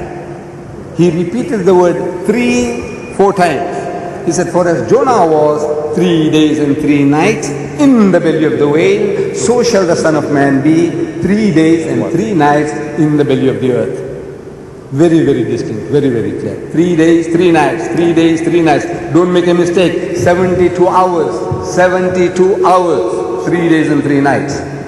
And I'm asking the Christians, let's see, did he fulfill that? Did he fulfill that? When was he crucified? Anybody knows? When was Christ crucified? Friday afternoon. Right? Not Friday morning, Friday afternoon. And they had to give him a burial bath, which takes a couple of hours. Then they had to put 100 pound weight of medicaments around him. That's what John tells us, 100 pound of weight of medicaments. And they had to put a shroud around him and then put him into the sepulchre. It's already evening. By the time they put him into the sepulchre, it is already evening. So Saturday, Saturday night, this is the Jewish calculation, night first, then the day. Same thing in Islam. Our Ramadan comes, the Ramadan night is the first, then the day, night, day. In, in the Jews, night, day, night, not day and night. The Westerns say day and night, we say no, night and day, night and day. So Saturday, Friday, I'm sorry, Friday, according to our calendar, Friday night, he's supposed to be in the grave. Watch my finger, Friday night. Saturday day, he's still supposed to be in the grave. Saturday night, he's still supposed to be in the grave. Sunday morning, the first day of the week, Sunday morning, when Mary goes to, Magdalene goes to the tomb, the tomb is empty. It's already empty. Morning, in the morning, it's already empty. I'm asking how many days and how many nights? Can you people see? Can you see? No, no, can you, can, can you count? I want to know whether you can count. Look, Friday night, Saturday day, Saturday night, Sunday morning, first day of the week, the tomb is empty. How many days and how many nights? Two nights and a day. Is that the same as this? Look, it's a three and three, two and one. Three and three, two and one. Is it the same? In any language. How you try, the master mathematician Einstein can't even help you here.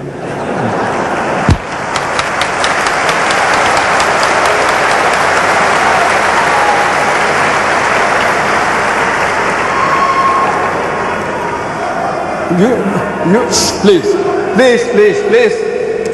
She returned, the, Jesus returns to that upper room after his alleged crucifixion. And he goes inside and he wishes his disciples, Shalom Alaikum, in Hebrew, Salam Alaikum, peace be unto you. And when he said, peace be unto you, his disciples were terrified. I'm asking why were they terrified?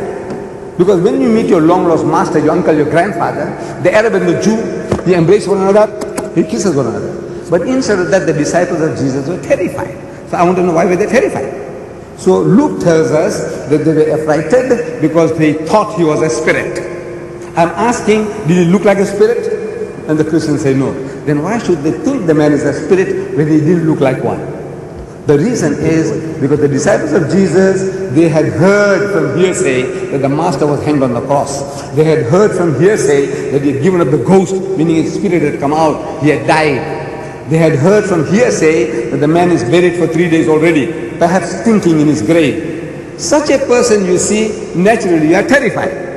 So Jesus wants to assure them that is not what they're thinking. They're thinking he's come back from the dead. So Jesus, so Jesus says, Behold my hands and my feet. Have a look at my hands and my feet. That it is I myself. I'm the same fellow man. Damn fools, what are you afraid of me for? He said, Handle me and see. For a spirit, a spirit has no flesh and bones as you see me have. A spirit means any spirit. If I got flesh and bones, in other words, that I'm not a ghost, I'm not a spook, I'm not resurrected, I'm not a spirit. Is that what it means in anybody's language, your language?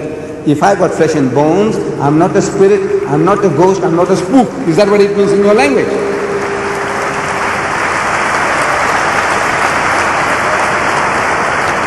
In other words, he's telling you that this body that you're seeing, it is not a resurrected body, it is not a spiritual body, I am the same fellow. And to assure them, further to assuage their fears, he said, have you here any meat, something to eat? And they gave him a piece of broiled fish and a honeycomb, and he took it, and he ate in the very sight to prove what? That is a ghost, is a spook, he's resurrected.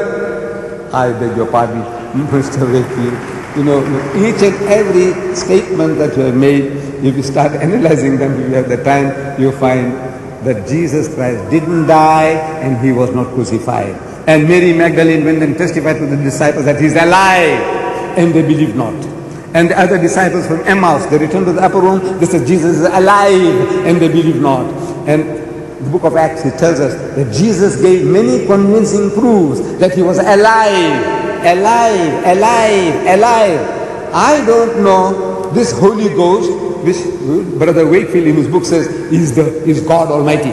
The Holy Ghost is God. You mentioned in your book.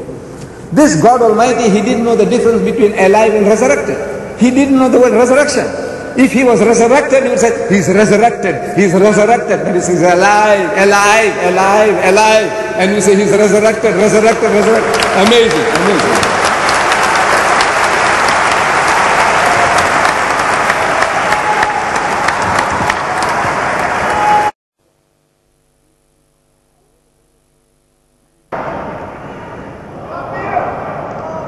Ladies and gentlemen, you will agree with me that these two scholars have exemplified themselves in championing the causes of their respective religions, and I think they need your applause.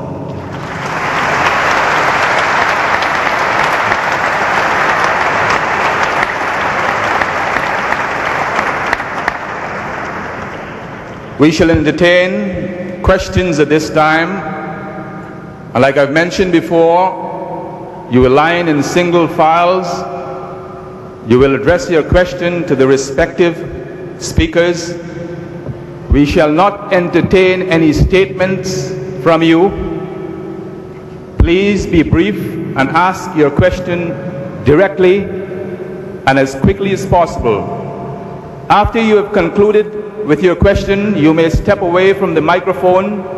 And if you do have another question, then you will have to queue up again at the back of the line. There are four microphones provided for your convenience, two on the upper aisles and two in the center aisles. Remember, the questions must be put politely and directed to the speakers. We will take the first question from speaker number one. Good, thank you. Okay. Um, the question would be, if you had a grandson who came here to Toronto, played hockey in this arena for the Toronto Maple Leafs, um, and he got a penalty, and the rule was he had to go to the penalty box, but there was an exception that if he was a goalie, someone could go to the penalty box and take his place. Would you say to him it's okay to have a substitute, or would you say no, that that's not fair?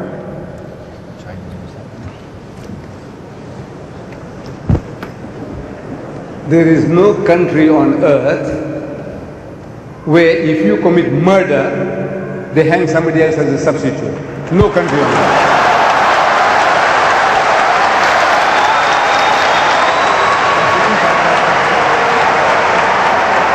We will entertain the second question. Those who have a question for Bishop General Wakefield. Bishop Wakefield, I heard of your crucifixion of Christ, but I'd like to know why the Gospel of Barnabas was omitted from the Bible, which says so much about Christ and his crucifixion.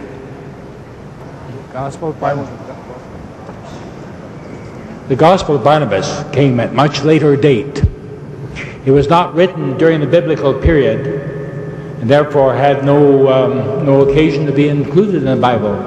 In fact, the Gospel of Barnabas is contrary also to the Quran. Thank you. Next question for Sheikh Ahmed. Assalamu alaikum. Uh, uh, Brother Ahmed Deedat, uh, did you have any writings about, about specifically the crucifixion of Jesus, son of Mary, bless him? Did you have any writings about him, and where can we find such a thing, such a book or such a writing? Yes, I have written a book entitled Crucifixion or Crucifixion. Sounds the same. In English, it sounds crucifixion or crucifixion. It sounds the same. But in writing, the first crucifixion is F-I-X-I-O-N, means to fix a person on the cross and kill. And the second crucifixion is F-I-C-T-I-O-N, fiction, fairy tale. So that is the title of the book. And in that book, I'm giving more than 30 different reasons to prove that this was not a crucifixion, but it was a fiction. As the Quran says, إِلَّا zan. We'll take a question up from the sister. My question is addressed to the bishop. Given the anthropomorphic nature of Christianity, how do you explain the striking similarities between the accounts of Jesus' crucifixion and pre-Christian mythological figures such as Mithras from Persia, who was born of a virgin, was the son of God, died for the sins of mankind, went to hell uh, for three days and arose, or the pre-Christian Greek figure of Dionysus, who was also a son of God, died for the sins of mankind, was hung on a tree, and Excuse arose... Me, sister. Yes?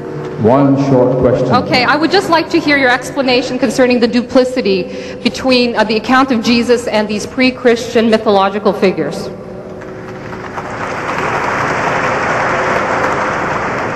You raised an interesting question, and of course that would apply equally to the Quran, because we're applying a similar figure. They're both born of a virgin in both records. Why would there be those records? Because within the prophetic records of the Holy Scriptures, accepted by the Jewish faith, Christ was forecast to be born of a virgin 700 years before his birth. Prior to that, within the Psalms, and we're not exactly knowing how many hundreds of years before that, there is still another reference. And you go back further, and even in Deuteronomy, the book uh, of Moses, uh, you have another reference to a coming Christ or Messiah. So that would, uh, if they wanted to, many things have been borrowed from others. So I think it's a borrowing. Thank you. We'll take a question from the aisle up front. Uh, the topic you choose, both of you, comparing Islam with Christian, raised three, three questions on my mind. First, if any of you win actually in this discussion, what kind of problem in Muslim and a Christian society will be solved? Second, you don't think so this kind of old discussion direct people away from the problem which they are facing right now, such as racism, um, inequality of women and man, and, and etc. And the third is... One question, please. They are One so question, please. Thank you. Okay.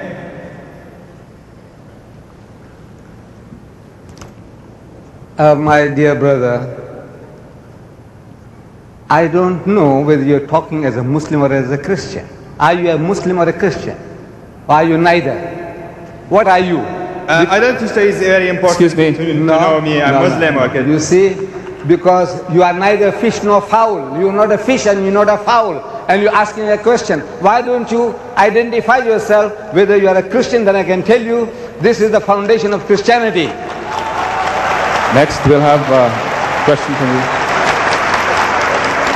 And if you're a Muslim, I said, this is what the Quran says. You are supposed to go and tell people, وَمَا كَتَلُوهُ وَمَا صَلَبُوهُ That they didn't kill him and they didn't crucify him. Either way. So, you are neither fish nor fowl, I don't think you deserve an answer. Okay. Um,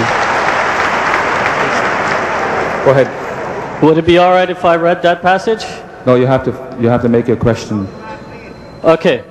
Um, the question is in chapter 21 1 in the book of Genesis, it says, And the Lord visited Sarah, and the Lord did unto Sarah, and, and Sarah conceived as, as the Lord has promised. So why don't the Christians also believe that Isaac was son of God? Perhaps I can explain that by my own example. My father was 63 when I was born, and I was not expected. But I came in answer to prayer, and God visited our family, not in a miraculous virgin birth, but in enabling my mother and my father to have a son in their old age. Thank you. Do you have a question for Sheikh Deedat up in the aisles? Yes. Yeah. Go ahead, please.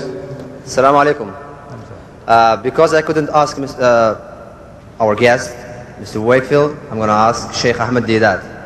Mr. Ahmed Deedat, brother, can you tell us how can a man die in five hours when he is on the cross? We know that um, uh, for a man to die in a cross, it's going to take him at least two or three days. That's one.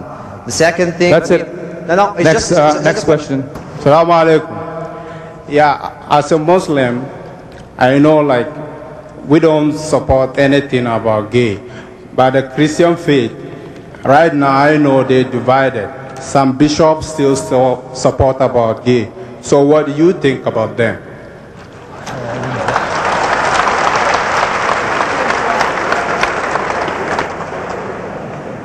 Now, w- would you pardon me by not say, I didn't quite get your, I have a bad accent too, so I'm not reflecting on you, understand? Yeah. What I mean is, right now in this society, yes, yes. the Christianity they divided, and there are some bishops supporting the gay society. Personally, you, what do you think about them, the bishop and the gay society?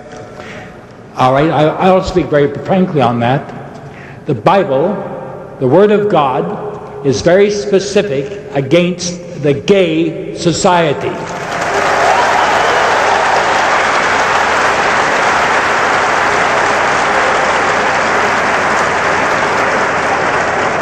And the bishop or the church or the minister who says he supports sodomites as being blessed by God is, and I say this kindly, cursed by God. You have a question for Sheikh Deedat? You have a question? Go ahead, please. Mr. Deedat, we are now in uh, 1994. Uh, the crucifixion, and obviously everybody is agreeing that it never occurred, or that's, that's what your premise is. The best person to ask would be an eyewitness concerning what actually happened. And if we actually could bring him back in time and put him in this place as an eyewitness, that would be, of course, the best witness, and we would have to agree, yes, this did occur. We have a, a testimony of not only 12, but over 500 people who literally saw him, touched him, handled him. Each of them, uh, the original 12 apostles, of the 12, 11 gave their lives as a testimony saying that yes, he did die, he did, he was buried, he did rise again. They all are the best witnesses. If we were to bring them in this, this Colosseum, they would be the best witnesses. How can you therefore cast aside the greatest witness uh, in support that not only did they give their lives in sacrifice as martyrs, but they would never die to defend a lie, how can then you say that their testimony is invalid? My dear brother, better than getting those people back from the graves and asking them, you have a written record which nobody can go against. It's already written there in black and white, and which is your witnesses. And according to these witnesses of yours, we are questioning them that Jesus is telling you that a spirit has no flesh and bones and that the resurrected body gets spiritualized. That's also your witnesses tell you that. The resurrected bodies get spiritualized. Paul says that, if you remember, he says, that which is sown, what you sow, a person is dead and you sow, you sow him in, that means you bury, he is sown in weakness, it is raised in power. It is sown a physical body, it is raised a spiritual body. Then Jesus also testifies to that fact that the resurrected bodies will be spiritualized.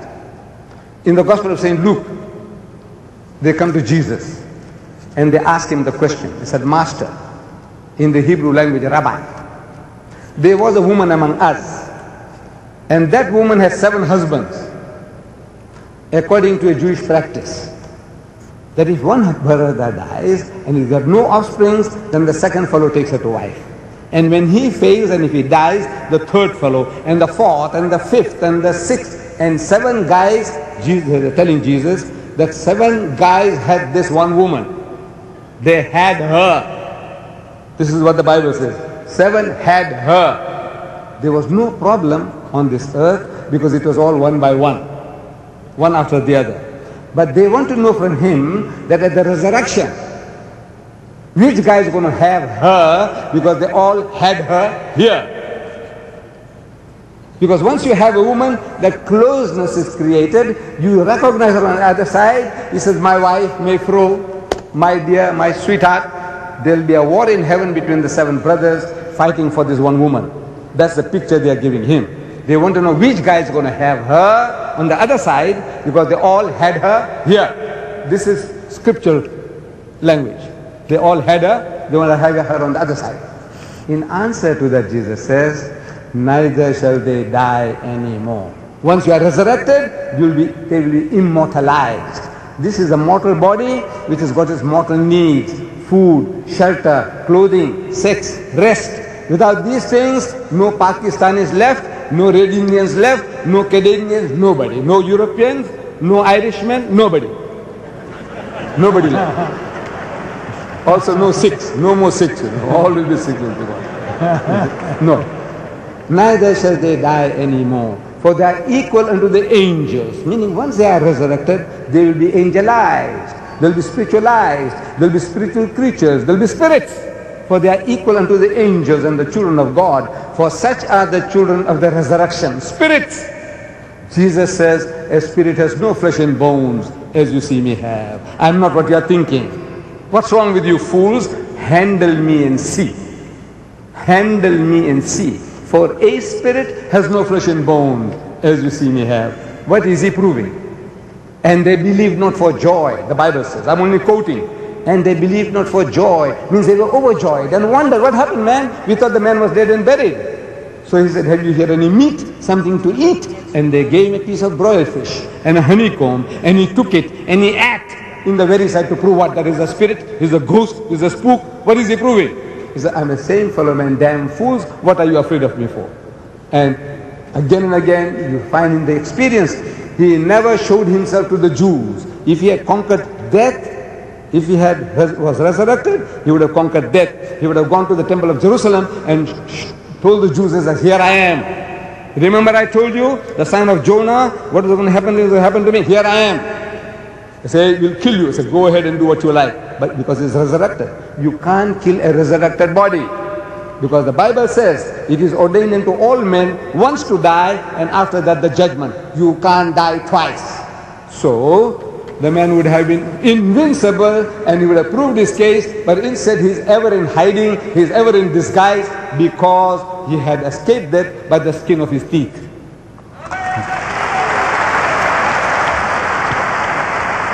In all fairness to the people who are standing behind you, I will reiterate that if you have a question, it has to be directed alternately to the speakers, and it, have to, it has to be one question only and as short as possible. No statesman will be allowed. Do you have a question for Bishop Wakefield? No. Yes, I do. Microphone number two, do you have I a question? do. Go Yes, ahead, please. General, General Wakefield, the Bible and the Quran says you will not write the book with your own hand, accord, with your own hand according to your needs. In today's, we see people ordaining women as priests, the church being quiet about gays and lesbians taking over the world, We want to know what's your stand on this and why are you quiet? America, everywhere, every, nobody's talking about it. Thank you. You haven't listened to me very long. but it's true that what we are facing in America, and perhaps in some areas of Islam too, unfortunately, is nominal religion. And I do not support it.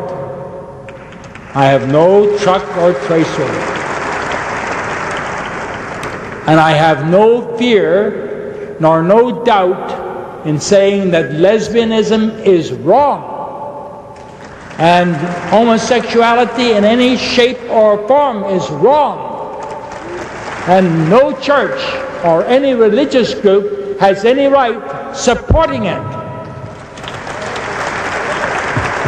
Now they, they tell us, uh, and maybe I just add this other little add bit because this question has been brought up twice here.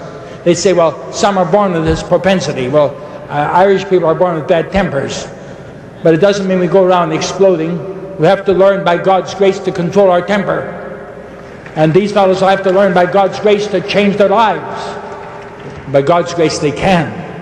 It's not that we hate a person, but we hate the deeds that drive that person to a final judgment where God will say, Depart from me. Thank you. You have a question for Mr. Deedat. Mr. Mr. Deedat, why does God demand animal sacrifices in the Old Testament? When Abraham offered the ram, why does God demand animal sacrifices, if not to typify Jesus in the future? Please, please answer this.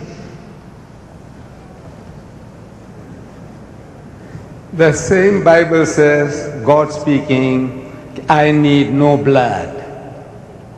I don't need the blood of animals, less of human beings.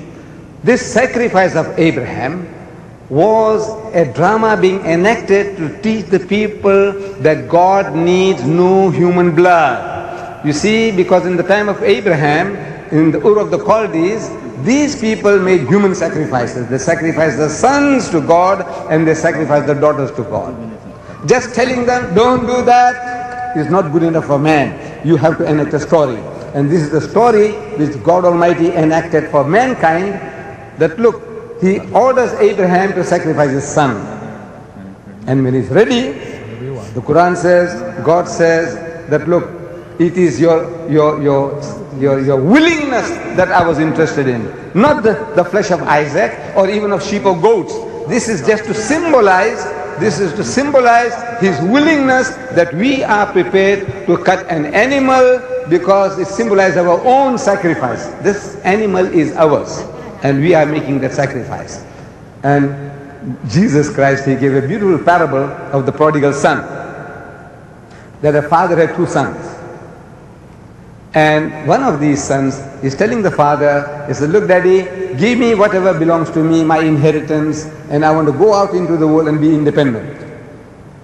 So the father pleases, gives to the son whatever he was entitled to. And this guy goes to a foreign land, he joins bad company, drunkards, adulterers, gamblers and all, and he goes into the mire, into the gutter, most despicable sort of life.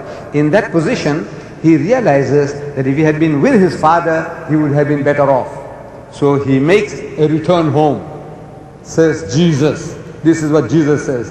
And while the son is coming home and the father sees him at a distance, the father runs. The father runs to the son and embraces him and he says that this my son was dead, is now alive. He was lost, is now found.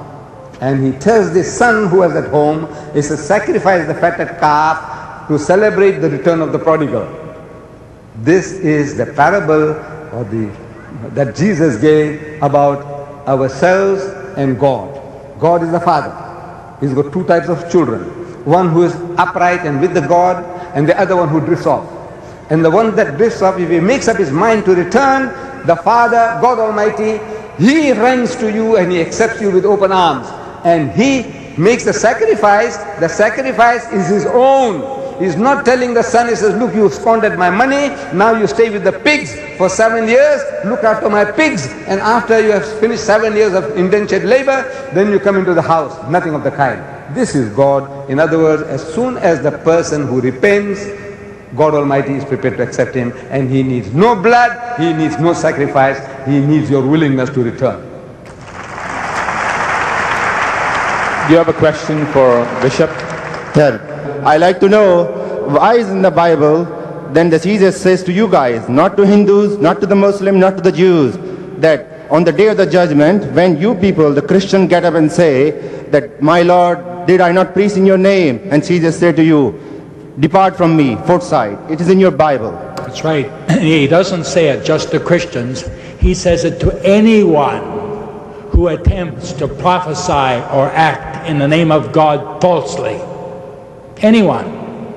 Do you think that because you're some other religion, that if you attempt to act in the name of God falsely, that you're going to get by with it at the judgment? You're mistaken. My dear friend, we all have to give the same account. He doesn't use the word Christian only occurs five times in the Bible. And he does not use the word Christian in that instance. Thank you. Microphone number four. Do you have a question for Sheikh Deedat?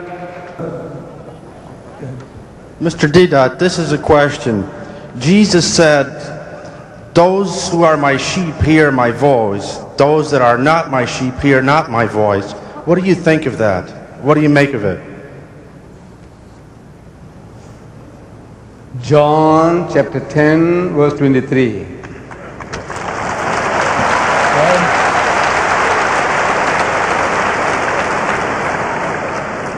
And Jesus walked in Solomon's porch. Then came the Jews round about him and said, How long dost thou make us to doubt? If thou be the Christ, tell us plainly. So Jesus says, I told you, and ye believe not. The works that I do in my Father's name, they bear witness of me. My sheep hear my voice, and I know them, and they follow me, and I give unto them eternal life, and they shall never perish. My Father which gave them me is greater than all, and no man is able to pluck them out of my Father's hand. Neither shall any man pluck them out of my hand. In this, I and my Father are one. In this, not in power, not in knowledge, not in anything, but in this, that once the man has accepted faith, I, as a prophet of God, see to it that the man remains in faith, and God Almighty, who also sees faith, that they remain in faith. We are one in this. There's a sister holding a child in one of the aisles. The sister with the child. There's a sister with a child in one of the aisles. Will you come forward, please? Do you have a question for Bishop Wakefield? Assalamu alaikum. In the beach, uh, uh, when he was talking, he was saying Jesus, Isa alayhi salam, as uh, he's the same as a lamb or the sheep sacrificed in Sayyidina Ibrahim. How you can say something like this and he is your God or even your son of God? I was quoting I was quoting from the scripture where John the Baptist, who was the prophet, said, Behold the Lamb of God which taketh away the sin of the world. I also quote from the scripture where it tells us all we like sheep have gone astray. It pictures us as sheep. All we like sheep have gone astray. We've turned everyone to his own way, and the Lord hath laid on him the iniquity of us all. Also, Jesus said, I am the good shepherd. I give my life for the sheep. So there's the illustration of sheep is all woven in there. It was an honorable illustration because a sheep was considered without blemish. It was considered pure. It was not a pig. It was a sheep and was considered pure without blemish, and that was why it was offered. Thank you. Microphone number four. Do you have a question for Sheikh Deedat? I have, I have a question for Deedat. Yeah, go ahead. Assalamu alaikum. The Christian believe that Jesus either a son of God or God. Where did Jesus say that in the Bible? And a question, where, a question, brother. A question, not a statement. Okay, where did where did Jesus say that he's God? And where did he say about the prophecy of Muhammad in the Bible? Jazakallah.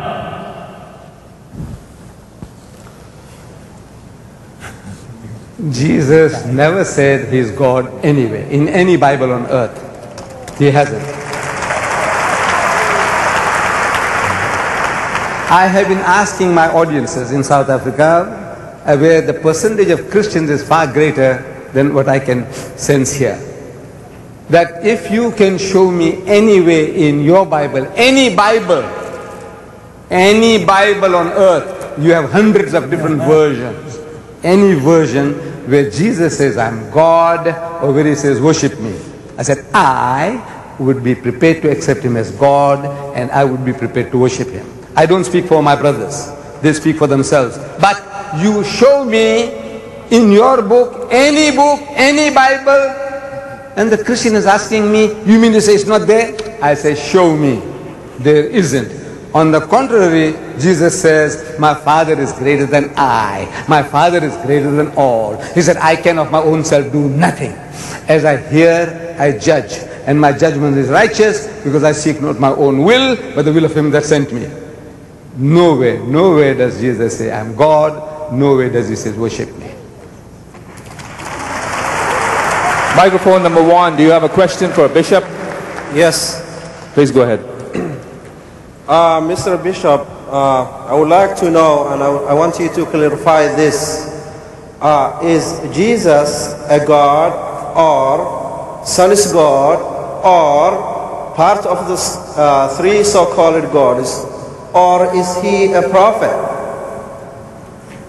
Uh, I, can you, um, you, you, you almost lost me somewhere in that list.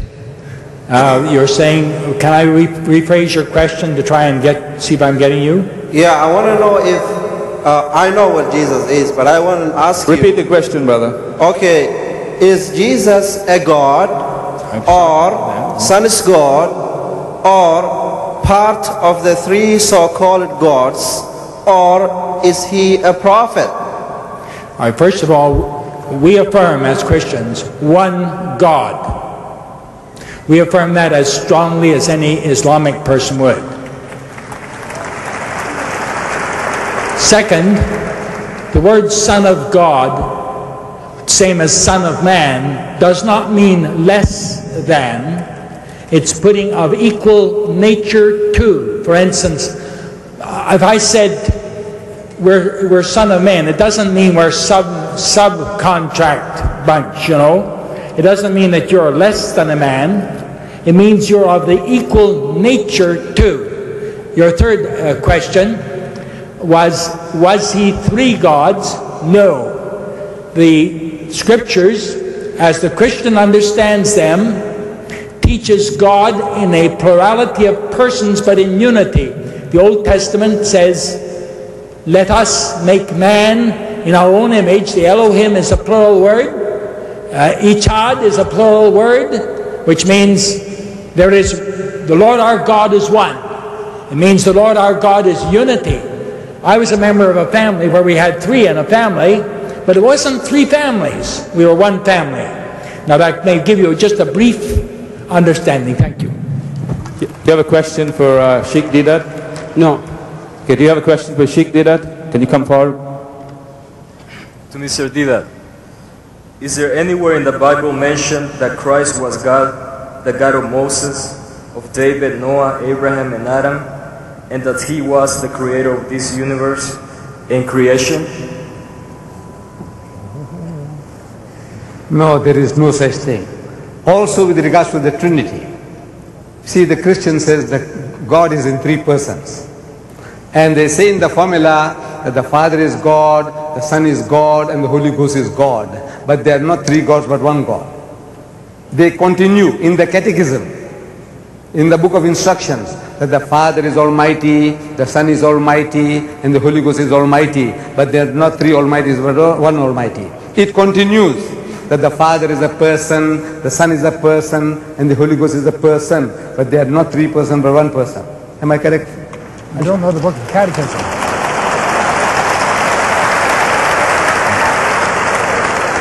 I am asking the Christian, the Westerner, who speaks English, you said person, person, person, but not three person, but one person. I said, I want to know what language are you talking? Is that English? I'm asking, is that English? That's gibberish. Person, person, person, but not three person but one person. And Bishop Wakefield, in his book, in his book, it just happens to be here, he, he's written about the doctrine of the Trinity, the attributes of God, Trinity, the triune God. And at the end of his essay on the Trinity, Bishop says, he says, yet there are not three gods, but only one, one God only, as seen in the previous section.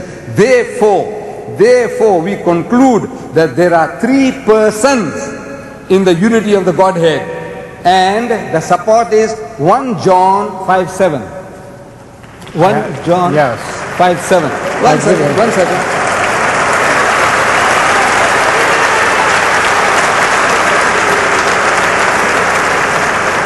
One John 5 7. What I'm asking is that 1 John 5 7 is not in my Bible. I want you to find that for me in this Bible of mine. It, uh, there have been several omissions in some of the modern versions. I don't agree with them. So that's where I stand. So I'm asking who omitted that? That verse is thrown out as a fabrication in the RSV, Revised Standard Version. Yes, I Who, understand. who did this Revised Standard Version? Not Jews, not Hindus, not Muslims, but 32 scholars of the highest eminence, Christian scholars of the highest eminence,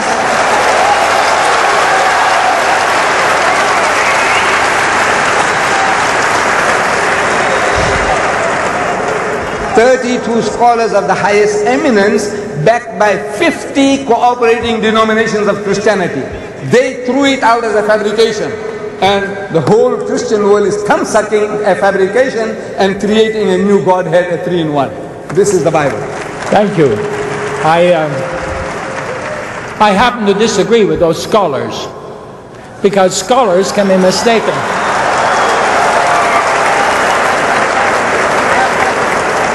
And sometimes, sometimes in the defense of truth, of course, my whole truth wasn't hung on that one verse. I just used that at one end there. Brother D, that, that was written 47 years ago, by the way. But I, I'm glad he refers to it. He's given you a lot of good scriptures tonight. That's terrific. Uh, now, that one verse is not the only one I've used. But I will say this, and I say this respectfully, that because a man claims to be a Christian scholar or become from a mainline Christian denomination does not mean that he is a committed Christian any more than a person who says, well, I'm Islam and doesn't practice. Thank you. Ladies and gentlemen, in view of the fact that tomorrow Sheikh Ahmad Deedat will be debating in the Civic Auditorium in Ottawa, we will have to entertain only four more questions tonight. So we shall take one from each of the microphones, one directed to each of the speakers alternately, and four more questions only allowed. We'll start with the upper microphone. Microphone number one. Mr. Deedat, we have covered a lot of ground where there are things in common with Christianity and Islam. My question is, surely the veracity of Jesus Christ as a prophet is what we are discussing.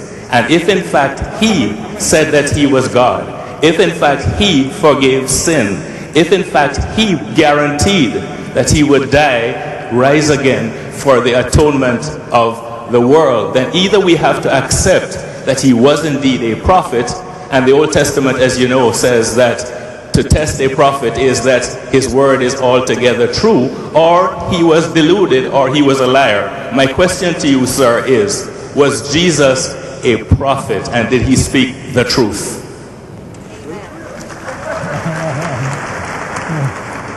Jesus Christ, not only a prophet, but he's one of the mightiest messengers of God in Islam.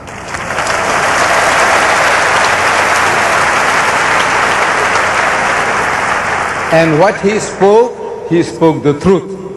But people have a tendency of seeing, reading into scripture what is not there. I'm telling you, repeated the phrase, Jesus claiming to be God. I'm telling you, here the Bible is here. If you haven't got one, come down. And by the, other- by the time the other questions are being asked, you find that verse for me and I will give you my hand and take me to be baptized. Come, come down here and show me in your Bible.